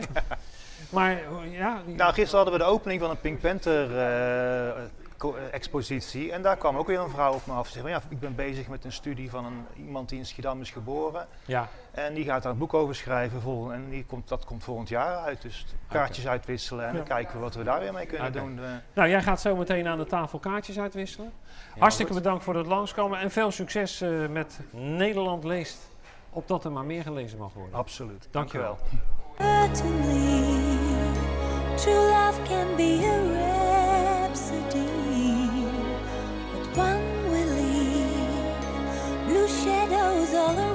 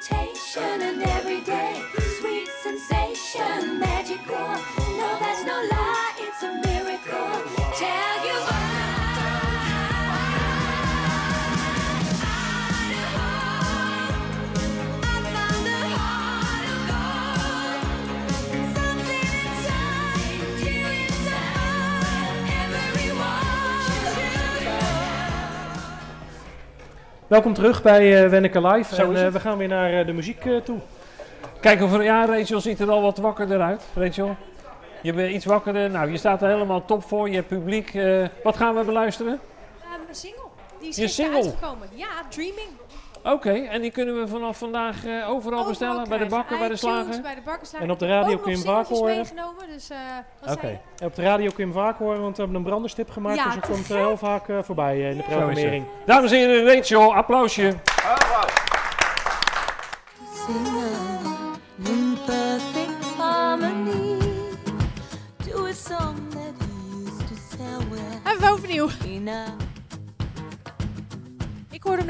Ineens een hele mooie vrouw er doorheen zingen.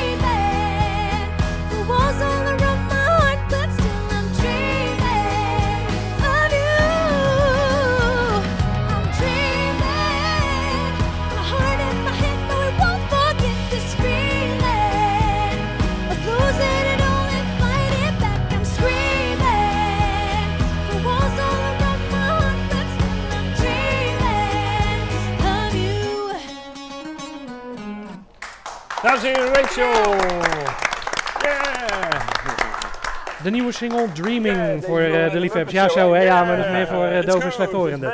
Ja, Lieve precies. mensen, Wenneke Live gaat als een speer door wat een programma. Ja, het leukste programma gewoon is Schiedam, nog meer hebben we gewoon niet. Kees Jans aangeschoven. Kees, buongiorno, goedemorgen. Goedemorgen, ja, het is Ja, jij als horecaman, is dit vroeg voor jou? Eh, nee, wij beginnen altijd vroeg. Dus Oh, je begint dat altijd vroeg. Ja, omdat je laat s'avonds doorgaat. Nou, ook, maar ja, heel veel te doen op een dag. Dus eh, nog red een leuke bruiloft in zaal Beatrix beleefd. Ja, we hadden een 50-jarig huwelijksfeest Heb je nou nooit eens eh, dat je denkt van ik heb er vanavond even geen zin in? Eh, nee, eigenlijk niet. Het is Nee. altijd leuk. Wat houdt je op de been wanneer je elke keer toch weer voor mensen een hele leuke avond in elkaar moet draaien? Nou, je geeft zelf het antwoord eigenlijk al. Als mensen dan tevreden zijn en een goed gevoel hebben en achteraf terug kunnen kijken op een eh, geslaagde dag, dan, eh, dan geeft het altijd Wat is wel tegenwoordig hip als je gaat trouwen, Kees? Een beentje of een discjockey of helemaal niks? Eh, tegenwoordig DJ's, bandjes, dus eigenlijk eh, Is dat niet meer zoveel. Ja, toevallig hadden we gisteren een combinatie, omdat eh, de zoon van het bruidspaar speelde zelf ook in een band. Dus er was een mix. DJ met aanvulling van de band. Dus dat was helemaal een leuke combinatie. Ja. Ja. Ja.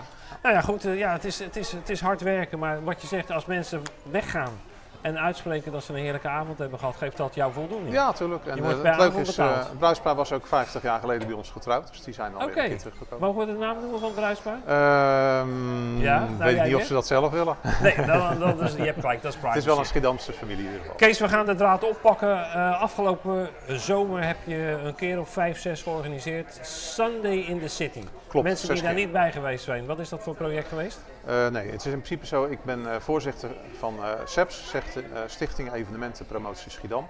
En wij hebben samen met de bewonersvereniging Schiedam Centrum eigenlijk het idee weer opgepakt om gezellig een stukje muziek in de tuin van de Grote Kerk neer te zetten. Dat hebben we zes keer gedaan, elke eerste zondag van de maand. Dus het valt gelijk met de koopzondag.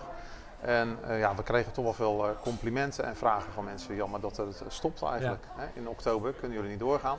Nou, buiten wordt het te fris. Als je tent neer moet gaan zetten, wordt het vrij kostbaar. En dan is het niet meer. eh, niet meer Ja, want leuk dan moet je eigenlijk. verwarming en dat soort dingen gaan halen. Verwarming en noem maar op. En eh, dan worden de kosten gewoon eh, gigantisch. Dus eh, ik heb gezegd, nou, we kunnen proberen om het bij mij in, in de zaak in zaal Beatrix door te zetten. Ja, het is de straat oversteken. Je zat in de tuin Ja. van de Grote Kerk. Ja, klopt. Het enige wat we missen is het springkussen. Daar heb ik geen ruimte voor. Nee. En geen hoogte voor. Dus, eh, maar eh, we proberen wel een leuk stukje muziek neer te Ja. zetten. Wat ga je anders doen eh, in vergelijking met het buiten gebeuren? We gaan iets later beginnen. Eh, we merkten dat zeg maar met de koopzondag dat eh, aanvang was twee uur. Eh, dat je tussen twee en drie wat, wat aanloop had. Maar toch eh, de drukte kwam eigenlijk pas tussen vier en, eh, en vijf een beetje op gang. Eh, dus we hebben het tijdstip verlengd. We hebben gezegd oké we beginnen pas om vier uur. En dan gaan we door tot ja, eh 9 uur, 10 uur, 11 uur, 12 uur. Ja, want dat is wel een eh, tijdstip, denk ik, eh, dat veel mensen ook wel behoefte hebben zo die zondagmiddag om eh, nou, wat leuks te gaan doen. Ja, dat sowieso. En een aantal winkeliers zijn natuurlijk klaar ook. De winkel Ja. sluit vijf uur, half zes. Dus eh, misschien dat we ook vanuit de kant Hoe van de omschrijf je de muziek die je aanbiedt? Van de zomer had je heel veel akoestisch, hele leuke beentjes. Ja, geen, he- geen, be- geen bekende namen, juist niet, gelukkig. Eh, niet, wel- ja, nou ja, geen landelijke landelijk bekende naam, bekend, maar wel zeggen. natuurlijk regionaal en, Ja, en, en wie, wie, doe je dat zelf, dat uitzoeken van die... Eh, nee, nee. eh, Rob Roskamp, mede bestuurslid van SEPS, die eh, doet eigenlijk de programmering.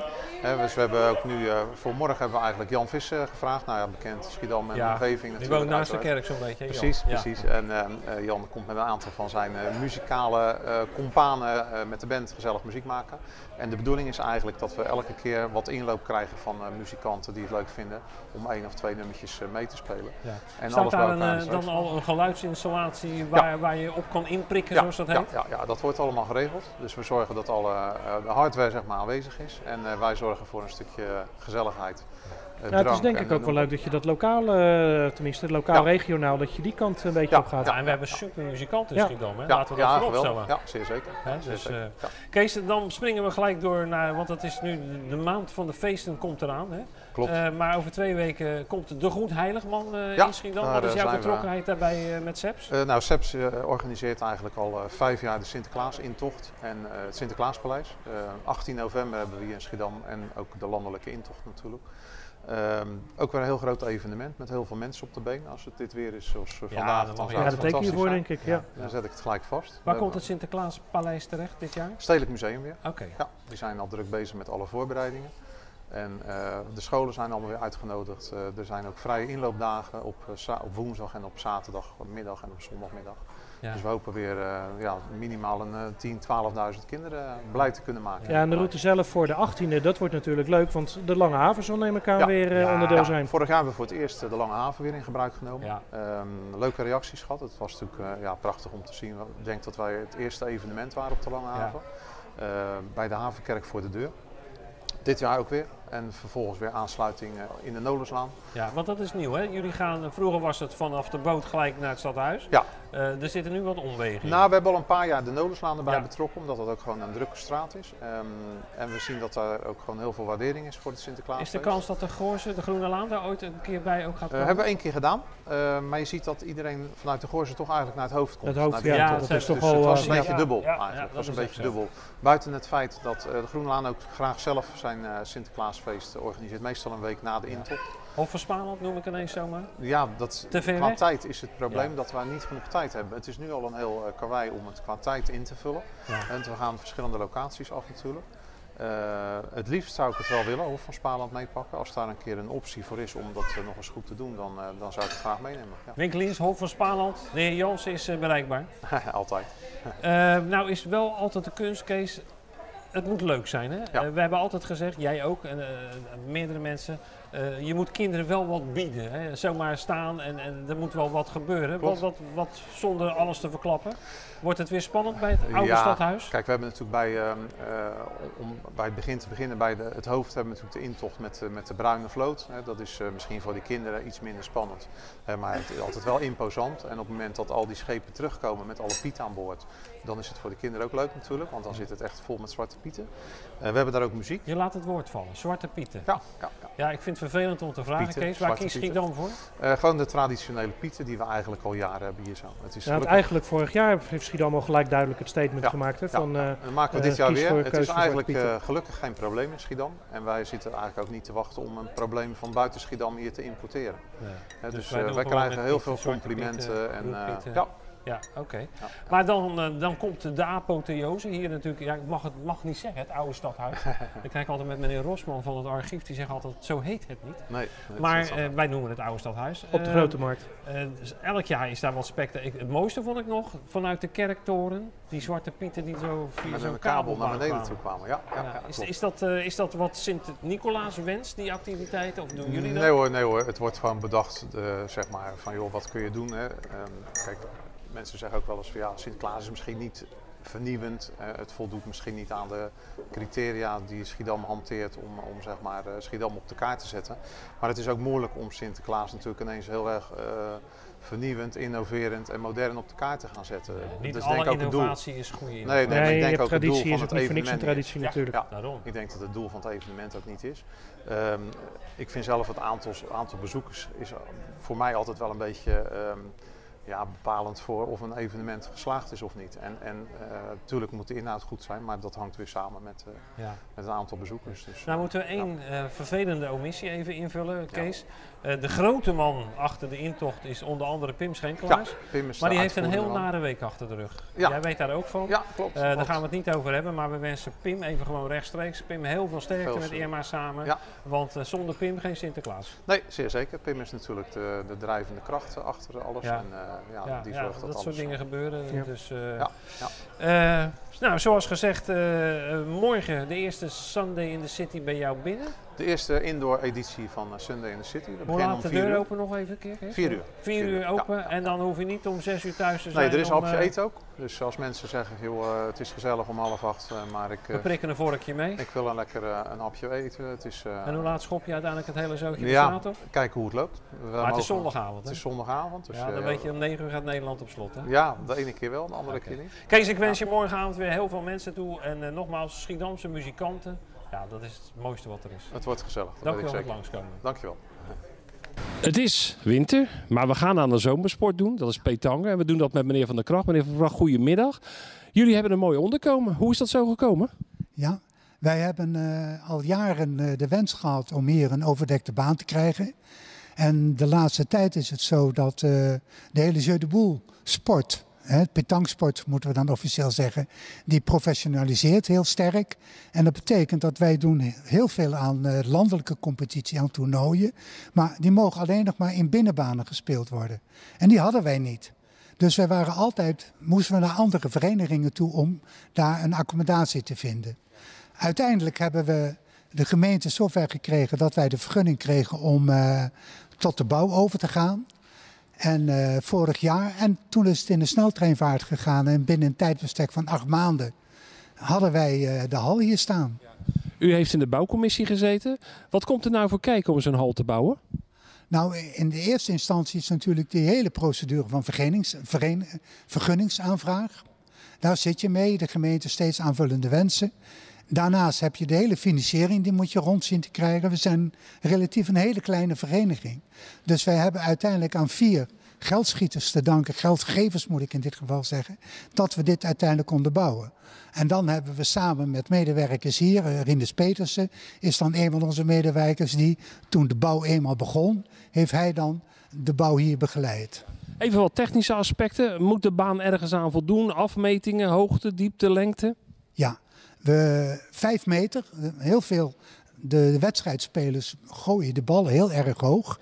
Dus deze is drie meter ruim aan de zijkant en vijf aan de binnenkant.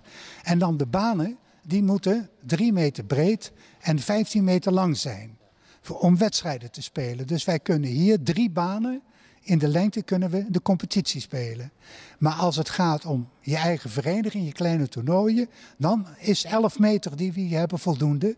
En dan kunnen we hier alles bij elkaar acht banen neerleggen. Eventjes over het beeld. Zo langzamerhand van alle sportverenigingen bij elkaar. Zijn er nou nog verenigingen waarvan je zegt die verdienen een setje? Nou, voor mij alle verenigingen die zich inzetten voor jong en oud, sportief goed bezig zijn, met elkaar, met allemaal vrijwilligers, zoals je ook hier weer ziet, zorg dat zo'n vereniging toekomst heeft. eh, en zich ook inzet voor alle dingen in de stad. Dat iedereen mee kan doen, iedereen kan bewegen en sporten. En L'Esprit is zo'n vereniging die dat kan. Hoe is het met je eigen jeu de boel spel? Nou, hier spelen ze petanque en geen jeu de boel. Wat is het verschil? Wat komt er na Eh, 11? dat mag je aan de voorzitter vragen. Maar eh, je, we beledigen ze hier als we zeggen dat het jeu de boel is. We hebben wel een paar andere leuke jeu de boel plekken in de stad. Maar deze kijken? petanque-vereniging met deze hal, ja, die is heel bijzonder. Nou, vanochtend was er bij ons in het programma wethouder Gouwenleeuw en een eh, huiskamervraag. Wat is nou het verschil tussen jeu de boule en pétanque? Oplossingen kunt u volgende week sturen naar mijn collega De Boer. Die zit de hele dag te wachten op uw antwoord. Ja. Lieve mensen, Benneke Live gaat als een speer verder aangeschoven is.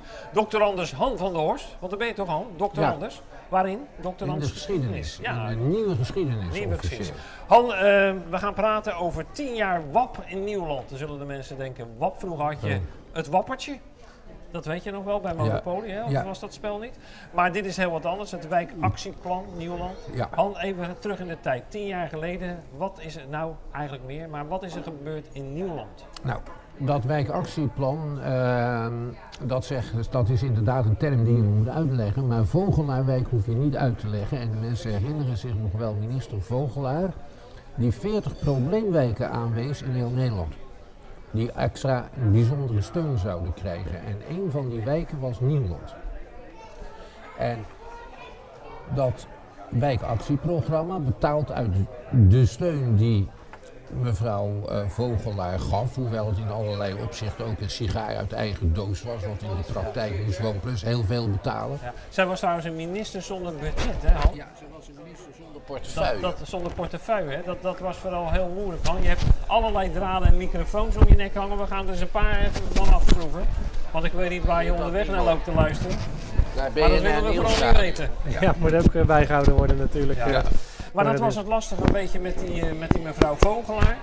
Die kwam, maar ze had eigenlijk geen eh, ja, ja, bevoegdheden. Klinkt Nee. een beetje zwaar. En ze is ook eh, halverwege haar ambtsperiode moest aftreden.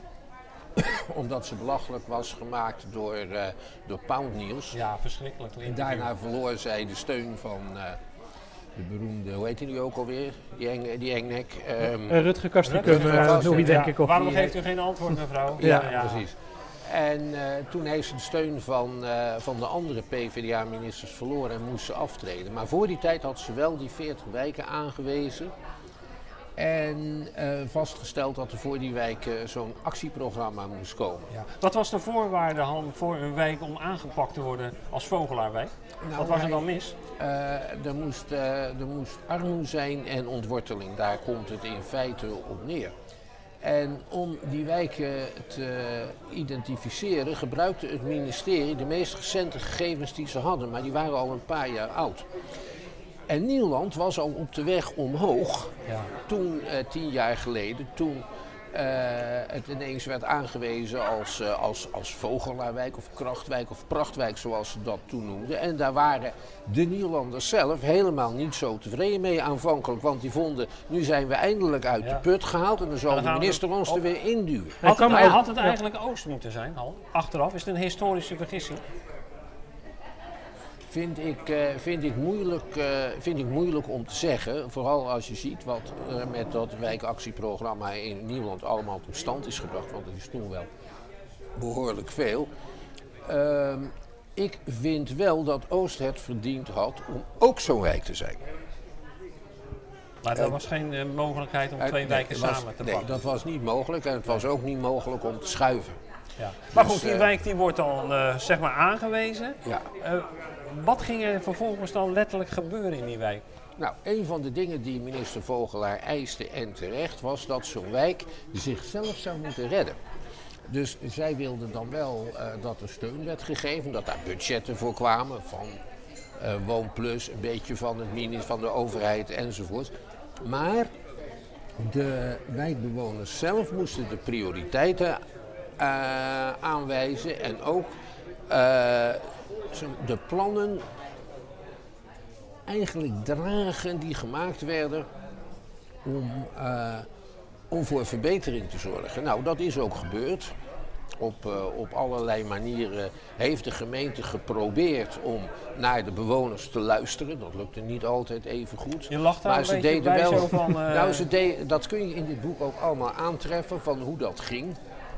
En, en uiteindelijk is het ook best in orde gekomen, maar je kan ook zien dat het, eh, dat het wennen was. Ja. Er waren ook allerlei dingetjes geregeld. Hè. Als er zo'n wijk, zo'n wijkcoördinator, of als er zo'n wijkprogramma werd uitgevoerd, dan moesten er twee coördinatoren zijn. Eentje van de wijk zelf, en dat was in de praktijk zat Jeffrey Davids, dat is iemand van Woonplus die daarvoor is eh, vrijgesteld. Maar er zat in het stadskantoor had hij eh, een aanspreekpunt, iemand die van die kant de zaak runde. En dat was Darius Spencer. En die had een moeilijke taak, Darius. Want die moest zorgen aan de ene kant eh, dat de gemeentemensen met de ambtenaren in gesprek bleven. Maar aan de andere kant moest hij ook de wil van de ambtenaar om zelf goed te doen, moest hij dempen. Ja. En als je daar je spreekt, dan merk je ook, eh, dat is een verschrikkelijk diplomatiek persoon. En die heb je daarvoor nodig. Maar wel iemand die weet welke kant hij op. Hij moest balanceren als het Ja, ja. ware op het koord. Iedereen tevreden ja, op het koord, ja, maar toch op het koord blijven lopen en de koers uitzet, de koers, zorgen dat de koers gehouden werd. Ja. En dat het niet eh, verliep in gelul. Dat kan natuurlijk ook. Hè. Wat waren de eerste zichtbare resultaten Han, van dat wijkactieplan? Ehm, dat- er allerlei activiteiten werden ondernomen. Hè? Dus je kunt bijvoorbeeld dan denken aan eh, eh, een, een werkgelegenheidsprogramma om eh, die mensen met een afstand tot de arbeidsmarkt in staat te stellen om dingen voor de buurt te doen. Bijvoorbeeld het opknappen van, van hoe heet het nou, van, speel, van speeltuig. Want een van de dingen bij het omhoog brengen van een wijk in tien jaar, en dat is echt waar, dat is dat het niet gaat met een paar grote spectaculaire stappen. Politici willen dat graag. Ja, zichtbare resultaten met gelijk. zichtbare resultaten. Maar waar het om gaat, is niet om drie grote zichtbare resultaten te boeken, maar om 120 kleine resultaten te boeken. Op veldjes, achter huizen. Dat, dat mensen eh, zorgvuldiger omgaan met, eh, met hun flats nadat die is gerenoveerd. En een beetje mooier dan zonder die WAP-gelden had gekund. Ja. Dus als je nou zegt, wat is er tot stand gebracht, dan zeg ik, kijk naar Nieuwland, want dat ligt er een stuk beter bij dan tien jaar geleden. Ja. Nou is Nieuwland een grote wijk. Ja, Kan je zeggen dat 11.000 heel mensen. Nieuwland ermee vooruit is gegaan? Eh, nou, er is, er is nog een stukje dat aan de beurt moet komen. En dat is het stuk, zeg maar, tussen de Piersonstraat, de Parkweg, Park de en Nolenslaan en de Van Haarlaan. En dat wordt, dat wordt nu ook aangepakt. Daar staan nog een stel oude flats die eh, eh, niet te renoveren zijn. Dat is jammer. Ik woon zelf in een oude Nieuwlands flat, die is wel gerenoveerd op de eh, burgemeester van Harelaan. Maar daar komt dan, daar komt dan een, een, een, een wijk van deze tijd bij. En er zijn natuurlijk ook door de crisis een heleboel dingen niet doorgegaan. Hè. Een van de dingen die door de crisis niet door zijn gegaan, dat is, het, dat is de nieuwbouw eh, ten noorden van de Van Hagelaan, tussen de Van Hagelaan en, en, en, en de spoorlijn in zo'n beetje. Bij de Parkweg ook. Dat gebied dat was verloederd. Dat is afgebroken en er waren plannen om daar een hele mooie nieuwe wijk neer te zetten. Dat wilde WoonPlus doen. En toen kwam die crisis daartussen. Als je nu kijkt eh, jaren naar... braak gelegen. Nu staan er huizen. En die huizen zijn niet door WoonPlus gebouwd, maar door een particuliere ondernemer. Als je nu kijkt naar Nieuwland zelf, kun je dan bijvoorbeeld zeggen dat de Monsignor Nolenslaan, eh, wat een belangrijke winkelstraat is voor Nieuwland, eh, dat dat nu toch een soort visitekaartje is geworden Dat voor is- eh, de dat- wijk? Dat, dat is het ook. En je kunt wel stellen dat het, eh, de Monsignor Nolenslaan noemt zichzelf de gezelligste winkelstraat van Schiedam. En ik ben bang dat ze daar gelijk in hebben. Ja, het is een hele geanimeerde Het is een hele winkelstraat geanimeerde straat. Er is geen leegstand. Nee. Als er eens een keer een, een, een- winkel verdwijnt, is dat binnen twee maanden opnieuw ingevuld. Het is divers. Ze zijn de hele zondag open. Ja. Het is op zondag ook druk op de Nolenslaan. Ja, dat geeft een En, reuring eh, in de stad. ja. Al, wat is, eh, wanneer je nu tien jaar verder kijkt, eh, hoe zou jij Nieuwland nu omschrijven? Eh, wat, als wat het oorspronkelijk bedoelde is emancipatiemachine. In Nieuwland, als je in Nieuwland gaat wonen, dan, dan zie je kansen voor je, om, het, om het voor jezelf beter te maken. Je hebt ooit eens tegen mij gezegd, Nieuwland was de hongerput. Toen Ja. onze ouders, want wij Ja, hebben allebei ook in Nieuwland gewoond, vanuit de Ludwigstraat. Toen Precies, onze en wij, ouders die en wij mochten allebei doorleren. Ja. En, nou, en jij bent, zelf in het onderwijs nog steeds. Je ziet dat dat nog steeds het geval is. Ja, maar even, jij zei toen tegen mij van eh, dat is een, een, een, een wijk die kansen biedt voor gezinnen om zichzelf op te werpen. Ja. En toen zei jij laatst tegen mij, eigenlijk kan je dat met mensen met een allochtone achtergrond, die gaan de tweede ronde in. Ook Ja, maar op dat, dezelfde maar dat basis. is ook zo, dat kan je ook zien. Je ziet, als je, je ziet dat er wonen heel veel Turken in, eh, in Nieuwland, dat, dat weet iedereen. En dat, dan, en dat zijn vaak mensen die, de ouders zijn vaak in, eh, nog in Turkije geboren of, of, of, of, of één jaar nadat, ze, nadat hun ouders weer in Nederland kwamen. En dit is de eerste generatie die door mag leren. Net Ja. zoals wij kinderen van na, de, na de Tweede Wereldoorlog de eerste generatie waren die door mochten leren. Hè. Dat kan je bijvoorbeeld heel goed zien op het, eh, op het Schravenland eh, Ja. Lyceum. Daar zitten ongelooflijk veel allochtone kinderen. De eerste generatie die door mag leren. En dat is mooi om te zien.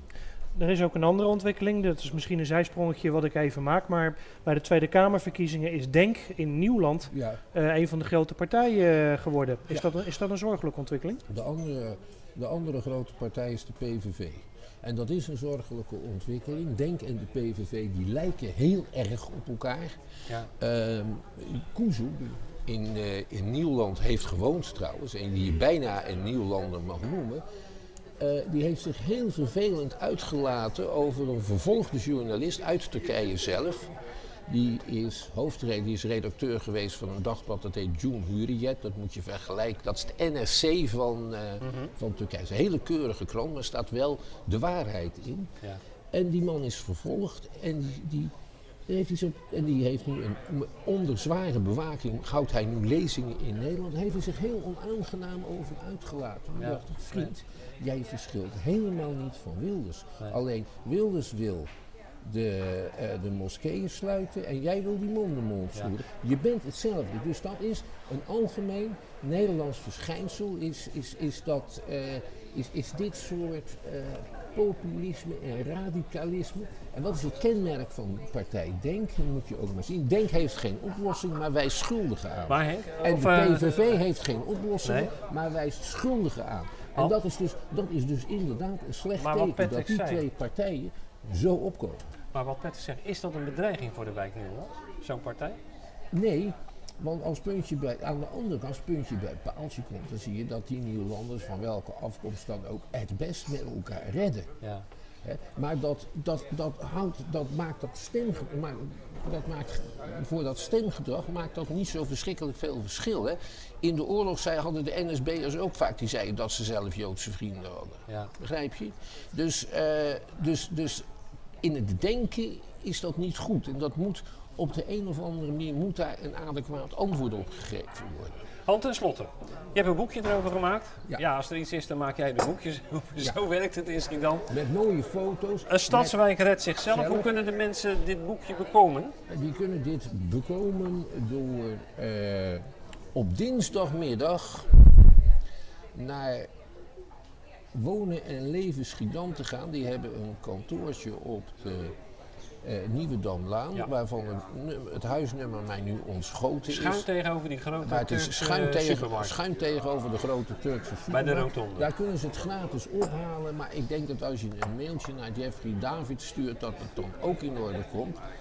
En dat is jdv apenstaart woonplus.nl. jdv apenstaart woonplus.nl. En dan krijg je dit prachtige boekje met hele mooie foto's. Leuke foto's, ja, absoluut. Ja. Prachtige foto's. Ja. Eh, hele mooie portretten ook gemaakt door de Nieuwlandse fotograaf eh, Hussein. Eh, en, Heel herkenbaar. En daar komen bekende Schiedammers in voor. En die vertellen over hun bekende Nieuwlanders moet ik zeggen. En vaak ook bekende Schiedammers die vertellen over hun verleden en over hun heden.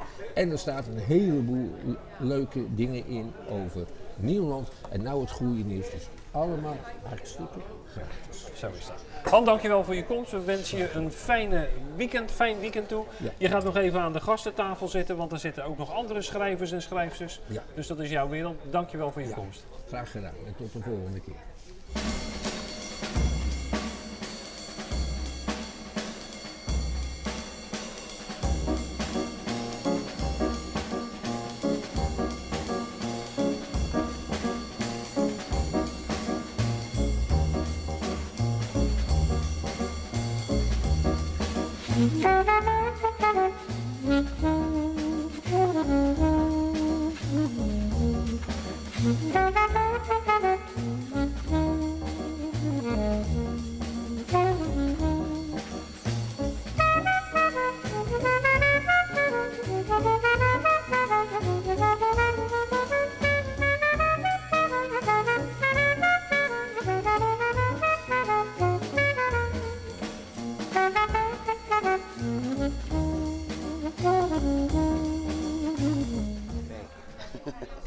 Wenneke live, lieve mensen, tot aan, tot aan de fles. Ja, het zit- de- het zit heel vol, zit deze heel vol, aflevering. Maar dit maakt het leuk eh, in ieder geval.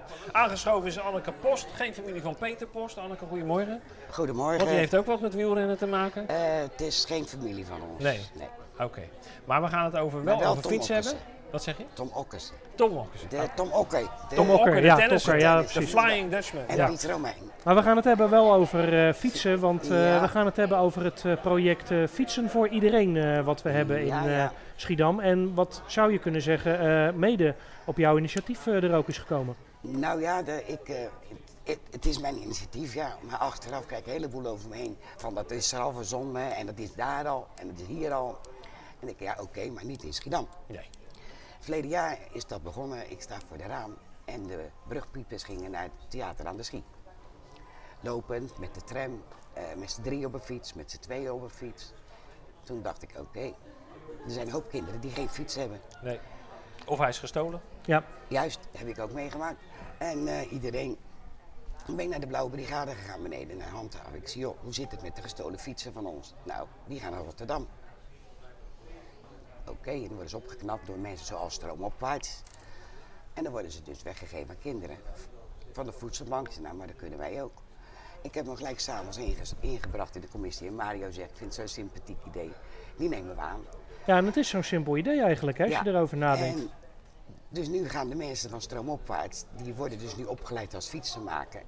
Door mensen dus die de- aan de 50 jaar zitten, die tonnen moeten werken. Ja. Die hebben dus te werk. De mensen van stroomopwaarts krijgen hun baan. Lentes College, die loopt eh, stage. En, ehm, ja, en de kinderen zijn blij. Hoe werkt dat in eh, praktijk? Eh, hoe lang duurt het voordat je zo'n proces dan definitief handen en voeten kunt geven? Meer dan een jaar. Ik heb het september verleden jaar ingebracht en nu in oktober is het gekomen. Maar dan ben je wel blij, neem ik aan, als, het, als het zover is. Want afgelopen week zijn Als eerste fietsen zo uitgereikt. Ja. En dan is het ook nog dat ik het zelf mocht doen. En meestal doen de, de wethouder dit. En nu had ik de eer. Ik zeg, goh, dat was echt heel leuk dat ik dat zelf mocht doen. En dan sta je daar bij twee kinderen. een jongetje van 12, Syrië, is pas acht maanden hier in Nederland. Spreekt een klein beetje Nederlands al. En je zag aan dat kind van, oh, wat gaat hier nou gebeuren? En ik geef hem die fiets. En die oogjes van dat kind zal ik nooit vergeten. Wat straalde die. Helemaal glimmen. En dan ging dat kind op die fiets weg. En toen dacht ik, oh mijn god. Die kent helemaal de Nederlandse verkeersregels niet. Want dat zeg ik dan ook in dat filmpje. Denk erom, fietsen. Auto's hebben voorrang. Is natuurlijk niet zo. Maar auto's nemen voorrang. En jij denkt dat je als fietser kwetsbaar bent. Dat ben je zeer zeker. Want ze rijden als gekken. Ze stoppen niet meer voor fietsen. En daar heb ik echt een slapeloze nacht van gehad. Ja, dat zou, eh, zou je maar gebeuren dat er dan gelijk ja, eh, daarmee wat... 12. eh, Maar dat kopje vergeet je nooit meer. Maar het is een mooi initiatief, eh, denk Ja. ik. En eh, ja, eigenlijk is het idee eh, simpel. Want je zou haast zeggen, waarom hebben we er niet eerder aan gedacht om die fietsen gewoon in Schiedam te houden? Het zijn met heel veel dingen die zo simpel zijn en iedereen eraan voorbij loopt. De waterbus bijvoorbeeld. Ja, waar, waar ga je nu met de waterbus? Collectief. Die havenbedrijven. Ja, ja dat kan wel. En de zomerschool. En dan denk ik, ja, waarom moeten die kinderen van zeven die net niet in groep bak mee kunnen, die moet je naar de zomerschool sturen. Maar nee, dan willen ze dus de brugklasses. Ja, die zijn er al. Ja. Die hebben die streep al gehaald. Maar het gaat bij mij om de zevenjarigen. Nou ja, daar vecht ik ook nog steeds voor. Ja, en zo'n project nu als Samen Fietsen, dat is dus het voorbeeld waarvan je zegt van... dan kun je eigenlijk met een vrij simpel idee eh, Ja. mensen ook in Schiedam eh Precies. wel En goed dat mee is op de zomerschool ook als die leerkrachten of, of de, de pabo's. Dat zou, nog heel, dat zou helemaal mooi zijn. Dan kunnen ze een beetje stage lopen op die kinderen. Ja, het zijn ook, eh, want we hebben het ook met de begroting al aangegeven dat het voor Nathalie Gouwenleeuw bijvoorbeeld eh, de laatste is eh, die ze doet in haar raadsperiode. Ja, Eh, voor jou houdt het ook op natuurlijk als raadslid straks. Ja, maar ik heb het heel erg druk. Ik doe mee met Sophie en Lange Wapper. Dus ik moet mijn teksten leren, ik moet liedjes leren. En Ik heb je debuut in het Hof van Spaanland gezien. Hoe vond je het? Geweldig. Ik was doodzenuwachtig. Ik wou een selfie met je maken, maar er werd een bodyguard voor gezet. Ik kon niet door. ja, ik ben heel populair aan het worden. Maar dat doe ik weer mee met Lange Wapper. En dat is zo leuk. Ja? Even voor de mensen die niet weten wat Lange Wapper is. Nou, dat is eh, Koen Woutersen en Anna Rats. Die zijn drie jaar geleden in Schiedam komen wonen. Uit Amsterdam vandaan. En die zijn verliefd op onze stad geworden. Verleden jaar hebben ze Hamlet gedaan. Eh, ben aan het ramen zijn, er wordt er een lijkenwagen voor het stadhuis gezet. Ik schrok, ik denk, wie is er nou dood? dat was dus de kist voor Hamlet. En iedere dag kwamen ze weer langs. En dat was zo'n gigantisch succes. En toen heeft die eh, Kiwi, Free as a Bird, nou, fantastisch. Dan ligt hij daar als een zwerver. Ja. Zo levensecht. Ja. ja, we hebben hem hier in de hal Ja. liggen. Ja, Toen klopt, dachten we van, eh, eh, ja, wat gebeurt er? Wat gebeurt er? Ja. En nu dus weer met vrijwilligers. Eerst van de Ja. zomer dan. En nu gewoon huisvrouwen. Die, die doen dan gewoon met z'n allen een toneelstuk. Ja. Ja. en dan ook nog niet zo kleintje. We doen vijf voorstellingen, familievoorstellingen. Maar eigenlijk zeg jij van, eh, van de gemeenteraad naar toneelspelers maar een kleine stap. Is een hele kleine stap. maar deze rol ligt me ook fantastisch. Hoe heb je trouwens die tijd als raadslid eh, nu eh, ervaren? Want je bent eigenlijk vanuit, het, eh, vanuit geen politieke achtergrond eh, Precies. de politiek geen- eh, ingestapt. Vanaf, vanaf mijn eh strijkplank ben ik zo de raadzaal ingedropt. Hoe is het bevallen? jong- van kranten, ja, tot ja, miljonair. hoe is van het Dat boek heb ik ook. Nou, ja. zo moet je het ook zien. Maar hoe is het bevallen als, als raadslid? Heel erg leuk. Ik heb genoten en nog. En ja, ik vind het heel erg jammer dat het nu stopt voor me. Maar ik heb vier grandioze jaren gehad. Je komt in keukens waar je normaal niet komt. Ja. En dan mag je meepraten. En dan zie je dat er toch dingen die jij zegt opgepikt worden. En dat vind ik zo mooi. Is het ook eh, aan te raden voor mensen dat je zegt van eh, als ze al politieke interesse hebben om toch eh, de politiek in te gaan? Ik wil je wel vertellen, het is heel zwaar. Als je het goed wil doen, is het heel erg veel. Soms te veel, want als morgen word je wakker en denk je, wat voor dag is vandaag dinsdag? Oh, dan heb ik raad, oh, dan commissie, oh, dan heb ik Oh, ik moet naar wijkoverleg. Oh, vanavond hebben we een uitnodiging hier. Het is heel veel, als je het goed wil doen. En er wordt natuurlijk veel van je verwacht, want mensen kijken naar je ook met het idee van kom maar met de oplossing.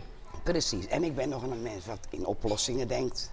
Ik ben niet zo van die dossiers dat ik denk van ja, dat je dan de dingen eruit gaat halen. en denk nee, waarom doe je het nou niet zo? Is toch Ja. veel simpeler? Nou hadden we vanochtend hier twee wethouders over de begroting, over de, de bokjes en de geintjes in En wie? november. Eh, hoe, hoe, hoe hebben jullie dat als partij gedaan? Wat doe je dan als partij? Nou, wij, eh, wij doen dat dus met. eh, normaal gesproken doen we dat met AOV en gemeentebelangen met z'n drieën. Dan eh, de brengen En we dan, alles dan in. vraag je iemand die daar verstand van heeft? Of hebben jullie die eigen kennis in huis? We hebben onze eigen kennis in huis en eh, dat wordt dan goed gelezen en dan gaan we erover vergaderen. En wat voor punt heb jij en wat brengen we in? Nou, daar zijn we dus nu mee bezig. De wethouders hebben we gevraagd van hoe zou je het financiële beleid van de gemeente Schiedam willen omschrijven. Degelijk, zei eh, wethouder van Steen, Ja. en mevrouw Gouwenleel zei. eh, ja, ja, stabiel. Ja, stabiel, ja, of, eigenlijk, eh, Is het ook. Is het ook? Wij, wij zitten echt wel op de cent. Wij passen op de kleintjes, maar ook op de grote centen. Ja. En dat is heel belangrijk. Maar niet, niet alle burgers snappen hoe. Nee, dat we hebben het vanochtend geprobeerd en- om het een beetje uit te En leggen. dat is niet uit te leggen, dat is wel zo'n moeilijke Ja, materie. het is een moeilijke materie. Ja. Dat, eh, dat is ook zo. Vond je dat trouwens een leuk idee? Die pagina in het stadsblad, eh, gewoon zoals je thuis Met de ook zou tekeningen, zeg maar, met eh, erbij. Het zeg je niks, eh, begrijp Zeg me helemaal even? niks. Ik, Even stad, kijken, ik heb gekeken in de stad, ik weet niet meer bedoeld. Nou, Ja, we ik heb het toevallig eh, ook niet, hij eh, zit niet bij Oh, hier heb ik hem. Ja. Hier, eh, kijk, zo heeft hij in het stadsblad gestaan. Ja, die is, Nou. nou, kijk, zo is het voor de mensen ook. Ja, en de mensen die dieper lezen. in de materie willen, die kunnen via de site kunnen ze. Kunnen ze- Ten slotte, Anneke, keren we terug naar het onderwerp. eh, De fiets. De fiets. Ja. Eh, mensen die eh, zitten luisteren, die denken, nou ja, weinig centjes, zo'n fietsje. Hoe gaan we dat eh, aanpakken? Hoe moeten ze zich melden? Eh, bij de WOTS. Bij de WOTS, We dat zijn zijn de wijkondersteuningsteam. We zijn bij, eh, hier in Dreesplein, op het Dreesplein zijn we begonnen. En dat moet zich dan uitbreiden naar alle andere wijken. Ja. En ja, je moet ergens beginnen. En mensen die oude fietsen hebben staan en die zeggen, joh, dat doen we al drie jaar niks Die zou je bij de werk- werkplaats eh, in Oost, bij Koert, of Ja. eh, hoe heet die jongen? Ehm, Maar in ieder geval ook Ja. bij de WOT kan je hem ook Ja. afgeven, neem ik aan. nou nee, dan wordt het een beetje te vol. Want wordt het sommige vol, ja. eh, WOTS hebben daar de ruimte niet voor. Oké. Ehm, Nou, dat, dat voor de mensen die dat willen weten kunnen Ja, dat van de precies. En week, eh, eh, nog gewoon even, anders even Ja, eh, informeren bij de WOT zelf. Dan, Of ze, eh, be- of ze bellen mij en dan eh, geef ik ze het adres van.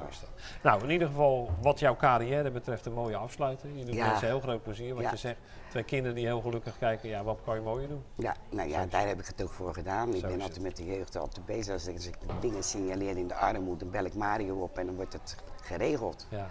Dat, dat is de kortste weg. Ja. Waarom moet je mensen met een gezin op straat zetten als het niet nodig is? Nee. En zo ga je dadelijk de geschiedenis in als Anneke Post van de fietsen. Ja, Nou. en, van, en van de jeugd. Zo is het. Dankjewel voor je Hey, komst. Hartstikke leuk.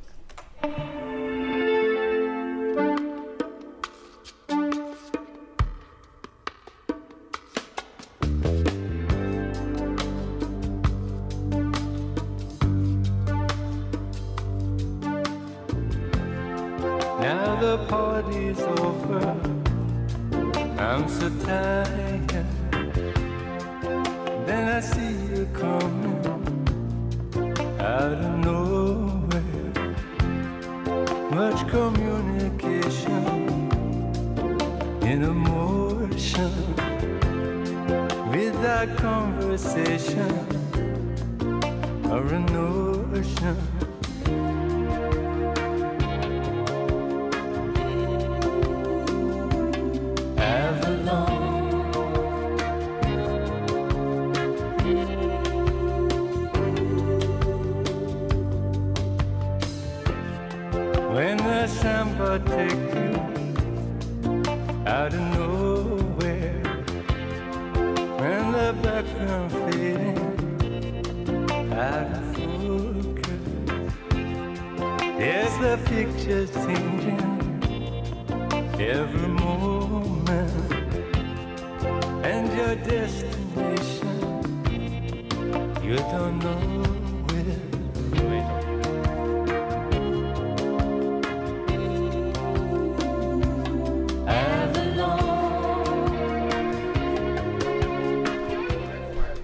Is het, lieve mensen. We gaan langzamerhand naar het einde van uh, Wenneke Live. Nou, eh, wanneer u dit programma bekijkt, dan weet u gewoon wat er in Schiedam gebeurt. En daar gaat het eigenlijk eindelijk allemaal om. Patrick, we gaan aan het laatste onderwerp beginnen. Ja, en dat is een opvallend onderwerp, want eh, volgend weekend, vrijdag en eh, zaterdag, dan is het feest der leegstand in het centrum van Schiedam. Dus eh, daar hebben we Gideon Pelen voor uitgenodigd, want daar willen we wel eh, Een wat dubbelzinnige meer van titel, weten. zullen Ja. we maar zeggen. Bewust gekozen, hij moet een beetje wringen natuurlijk. Ik wou net zeggen. ja, want feest en leegstand zijn niet twee dingen die je met elkaar eh, natuurlijk. Doorgaans niet, maar misschien zou je het wel moeten doen. Dat is een beetje de gedachte die wij hebben gehad. Even de achtergrond. Hoe is jouw verhaal in Schiedam begonnen, Gideon? Ehm, elf jaar geleden verhuisd naar Schiedam vanuit Rotterdam. Ehm, plek gezocht in de Schiedamse havens in dit geval. En eh, zodoende hier beland. En eh, langzaam zeker toch ook wel eens echt Schiedammer geworden. En ehm, nu sinds drie jaar een eigen architectenbureau. En dat doe ik samen met Vincent Tuinema in de Monopol aan de Hoofdstraat. En als je er eenmaal middenin zit, dan gaan je, nou we zijn dus architecten, dan gaan je gedachten aan de gang met Schiedam. Dan zie je zoveel plekken, zoveel mogelijkheden. En, en dan krijg je een liefde voor de stad. En anderzijds zit je dat de hele tijd te vertellen aan mensen hoe mooi plek het is. En wil je eigenlijk dat breder uitdragen. En zodoende zijn we op een gegeven moment gekomen met het idee om het feest der leegstand te, te, te bedenken. En dat is een concept wat we bedacht hebben met ons bureau, dat heet ART, Atelier Ruimdenkers. En toen dachten we, we willen eigenlijk gaan vertellen wat hier allemaal ligt, wat hier voor kansen zijn, maar dat kunnen we met ons in eentje niet doen, daar hebben we andere mensen voor nodig. En eigenlijk is die leegstand, we kunnen met z'n allen de hele tijd met de mondhoeken naar beneden ernaar kijken. Maar misschien is het op dit moment, in een tijdspad waarin er allerlei vraag is naar ruimte in de omgeving, in Rotterdam zie je dat het eigenlijk al haast geen ruimte meer is en dat de prijzen omhoog gaan. Dan is het in één keer best wel een leuk momentum dat je ziet dat er in Schiedam nog zoveel is. En natuurlijk is dat voor een hoop mensen ook vervelend, die stilstand en die leegstand. Maar als je het omdraait, en dat zeggen we eigenlijk door om te denken, zou je het ook positief kunnen bekijken. En dan is dit in een regio van de Randstad, is er in één keer ruimte. Ben je er zelf bijvoorbeeld eh, een voorbeeld van, eh, omdat je met je bedrijf in de Monopol zit, wat natuurlijk al eh, een gebouw is waar heel veel over te doen is geweest in Ja, het is natuurlijk een van die duidelijke voorbeelden en ook wel heel prominent aanwezig. midden in de straat, midden in het hartje van Schiedam, waar je gewoon ziet dat daar een groot publiek gebouw staat en dat staat leeg. Eh, we zijn er zelf twee jaar geleden ingetrokken, onder andere in het torenkamertje gezeten. We zitten nu op de begane grond aan de Appelmarkt. En met al het idee van jongens, het zou zo mooi zijn als dat pand op zijn minst af en toe het licht brandt, dat er wat beweegt. En, Maar eh, jullie huren een deel van het pand, Ja. begrijp ik? Ja, samen met... Want het eh, staat ook te koop als totaal? Het staat eh, sinds deze week volgens mij weer officieel te koop. Ja. Wat heel erg goed is en wat we ook hopen dat er een hele goede gebruiker gevonden wordt natuurlijk. Want het Die is, was er wel. Ik zal je een stukje bijpraten. Jaren geleden, er zit, op de Hoogstraat zit een, eh, een mag, moet ik het zeggen, een gokkansbedrijf. Ja. Ja, ja, ja. Een, Spelautomaten. Spelautomatenbedrijf. Casino. Of, ja, een heel precies, goed bedrijf. En die hebben jaren geleden hebben ze gezegd, nou wij willen het pand kopen. Wij willen het opknappen. Er zit een breuk in. Je weet, er zit een scheur in het pand. Hè. Het pand, Ja, dat weet je als architect beter dan ik. hersteld en het is En dat bedrijf zei van, nou, wij willen het opknappen, we willen het helemaal mooi maken. Eh, je moet binnen eerst een trap op, dus je ziet geen mensen gokken. En toen is het afgewezen toen de tijd door eh, een politieke partij en de toenmalige directeur van het museum. Als je daarop terugkijkt, is dat dan toch een ultieme gemiste kans geweest? Of zeg je, ja, daar kan ik ook wel begrip voor opbrengen? Eh, het is altijd goed als een gebouw een gebruiker heeft, dat vooropgezet. Maar ik denk dat, ik kan me voorstellen dat men hoopte op een eh, betere gebruiker. Op een ander Ja. soort gebruiker die wat, meer voor het hele, nou, die voor het aan? hele publiek eh, natuurlijk te gebruiken is. Dat het hele pand, het pand is van origine, net zoals waar we nu zitten natuurlijk, een filmhuis of een bioscoop geweest. Dat is voor jong en oud. En een zo zit het, en een dansschool later dan ook weer geweest. Ehm een architectenbureau, een restaurant, alles heeft er inmiddels in gezeten. Maar het is natuurlijk een heel erg publiek gebouw voor iedereen bedoeld. In het centrum van de stad, voor het museum, tussen de andere musea. Eh, dan wil je eigenlijk ook iets wat op diezelfde schaal iets aan toevoegt op de hele stad en voor de hele omgeving. En een gokhal is inderdaad, het is een dichte doos, dus dan heb je het mooi verstopt. Je hebt het, eh, organisatie hoor. zeker, maar eh, nee, nee, nee, het zit ook prima op de hoogstraat waar ze nu zitten. Eh, maar ik kan me voorstellen, dat het zo'n prominent gebouw dat je daar een, het scheelt om een publieke functie. En dan moet je ook een wat meer publiekere functie hebben dan dat. eh, Wat meer toegankelijk is. Dus wat dat betreft snap ik het en ik hoop dat ze eh, ook iemand gaan vinden. Dat is ook voor ons het idee, weet je, als we nou het pand activeren, en dat doen we dus nu met het festival. Eigenlijk willen we dat voor de hele stad doen. Maar als je begint met zo'n pand te activeren, dan kan je laten zien dat het heel leuk is, dat het toegankelijk is, dat er allerlei dingen mogelijk zijn. Dan komen mensen vanzelf op een idee. En we hopen dat met het festival net zo te doen. Eh, dat we allerlei plekken, en dan gaat het zeker niet alleen over de Hoogstraat, want we hebben, het heet Feest der Leegstand, ruimte biedt kansen. De subtitel is net zo belangrijk. Die ruimte die geeft mogelijkheid tot allerlei nieuwe dingen naar je stad halen, naar allerlei plekken toe te halen. Maar mag ik lomp zijn eventjes? Eh, daar zijn eh, voor jouw tijd eh, hele grote jongens en meisjes al overheen gegaan. Ja. Met diezelfde mooie plannen. En eigenlijk is de netto opbrengst 0 tot weinig.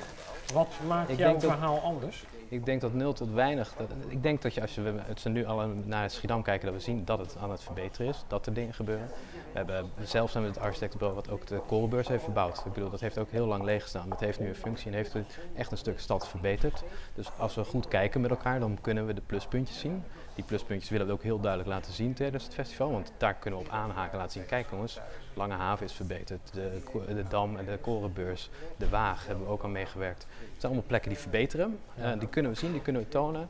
En daarmee kunnen we laten zien dat er een momentum is. En ik denk dat inderdaad voorgaande periodes dingen ook niet gelukt zijn. Maar er is wel een andere tijd. Eh, we hebben acht jaar lang in de heel Nederland eh, stilstand gehad. We hebben nu in een regio ontzettend veel vraag naar ruimte. Dus we nee, schrikt van wat er af en toe tegenwoordig geboden wordt voor huizen in Rotterdam.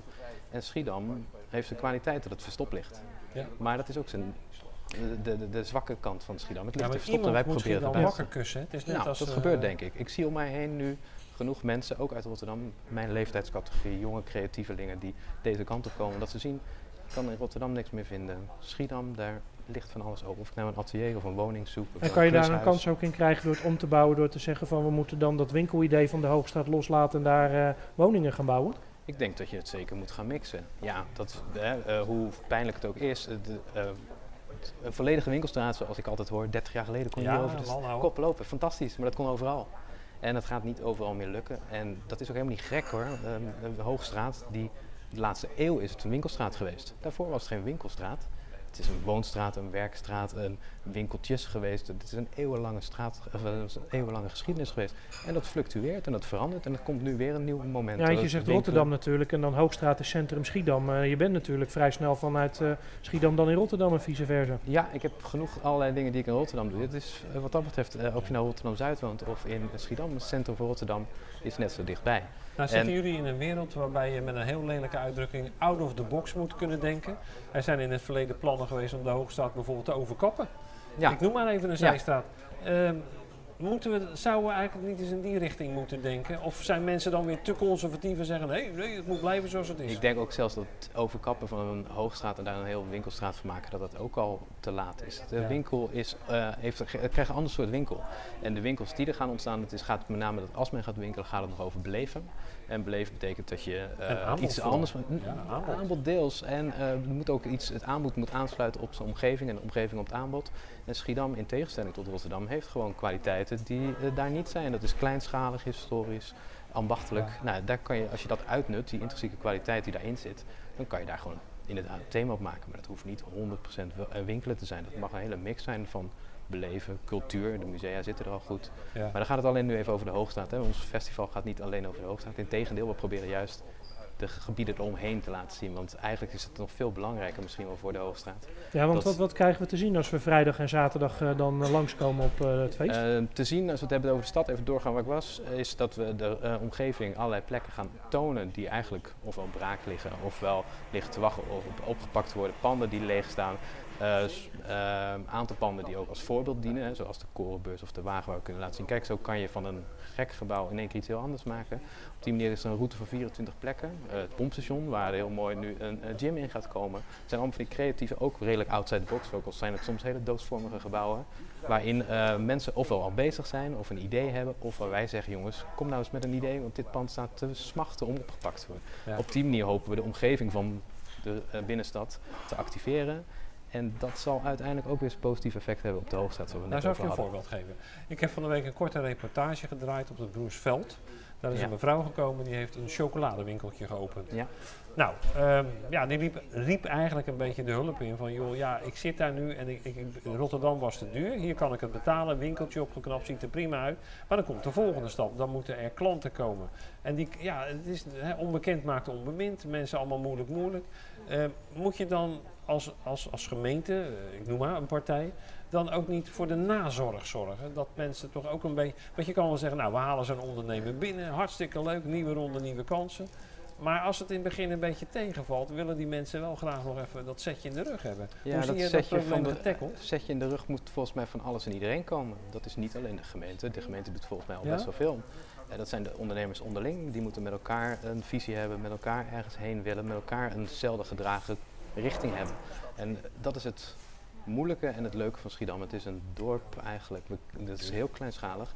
En tegelijkertijd zijn de middelen heel beperkt. Dus dat betekent dat alles wat er gedaan moet worden, moet met z'n allen één neus in de richting, in de neus één kant op staan. Ja. Ga je kansen en ideeën allemaal verspreiden, dan, dan die, zoveel kansen zijn er niet. Dus er moet inderdaad met elkaar elkaar steunen. Ja. De winkeliers, de ondernemers, de, de Maar winkeliers bijvoorbeeld, om je in de reden te vallen, eh, ja, zijn na al die jaren van ondernemen ook een beetje verbitterd geraakt. Eh, en hoe overwin je verbittering weer? Moeilijk, moeilijk. Ja, eh, Ja. met zwarte verf maak je geen regenboog. Ik Nee. bedoel, dan moet je toch echt met z'n allen weer positief gaan denken.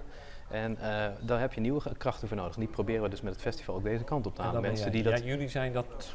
Ik s- vind me, Ja, zelf zijn we er eentje van. je ja, bent gaan we ja, dus nou, met veel plezier ook. Ja. Inderdaad, wij zijn er één van. En we Maar zien dat gelukkig met ons en tranen, neem ik aan.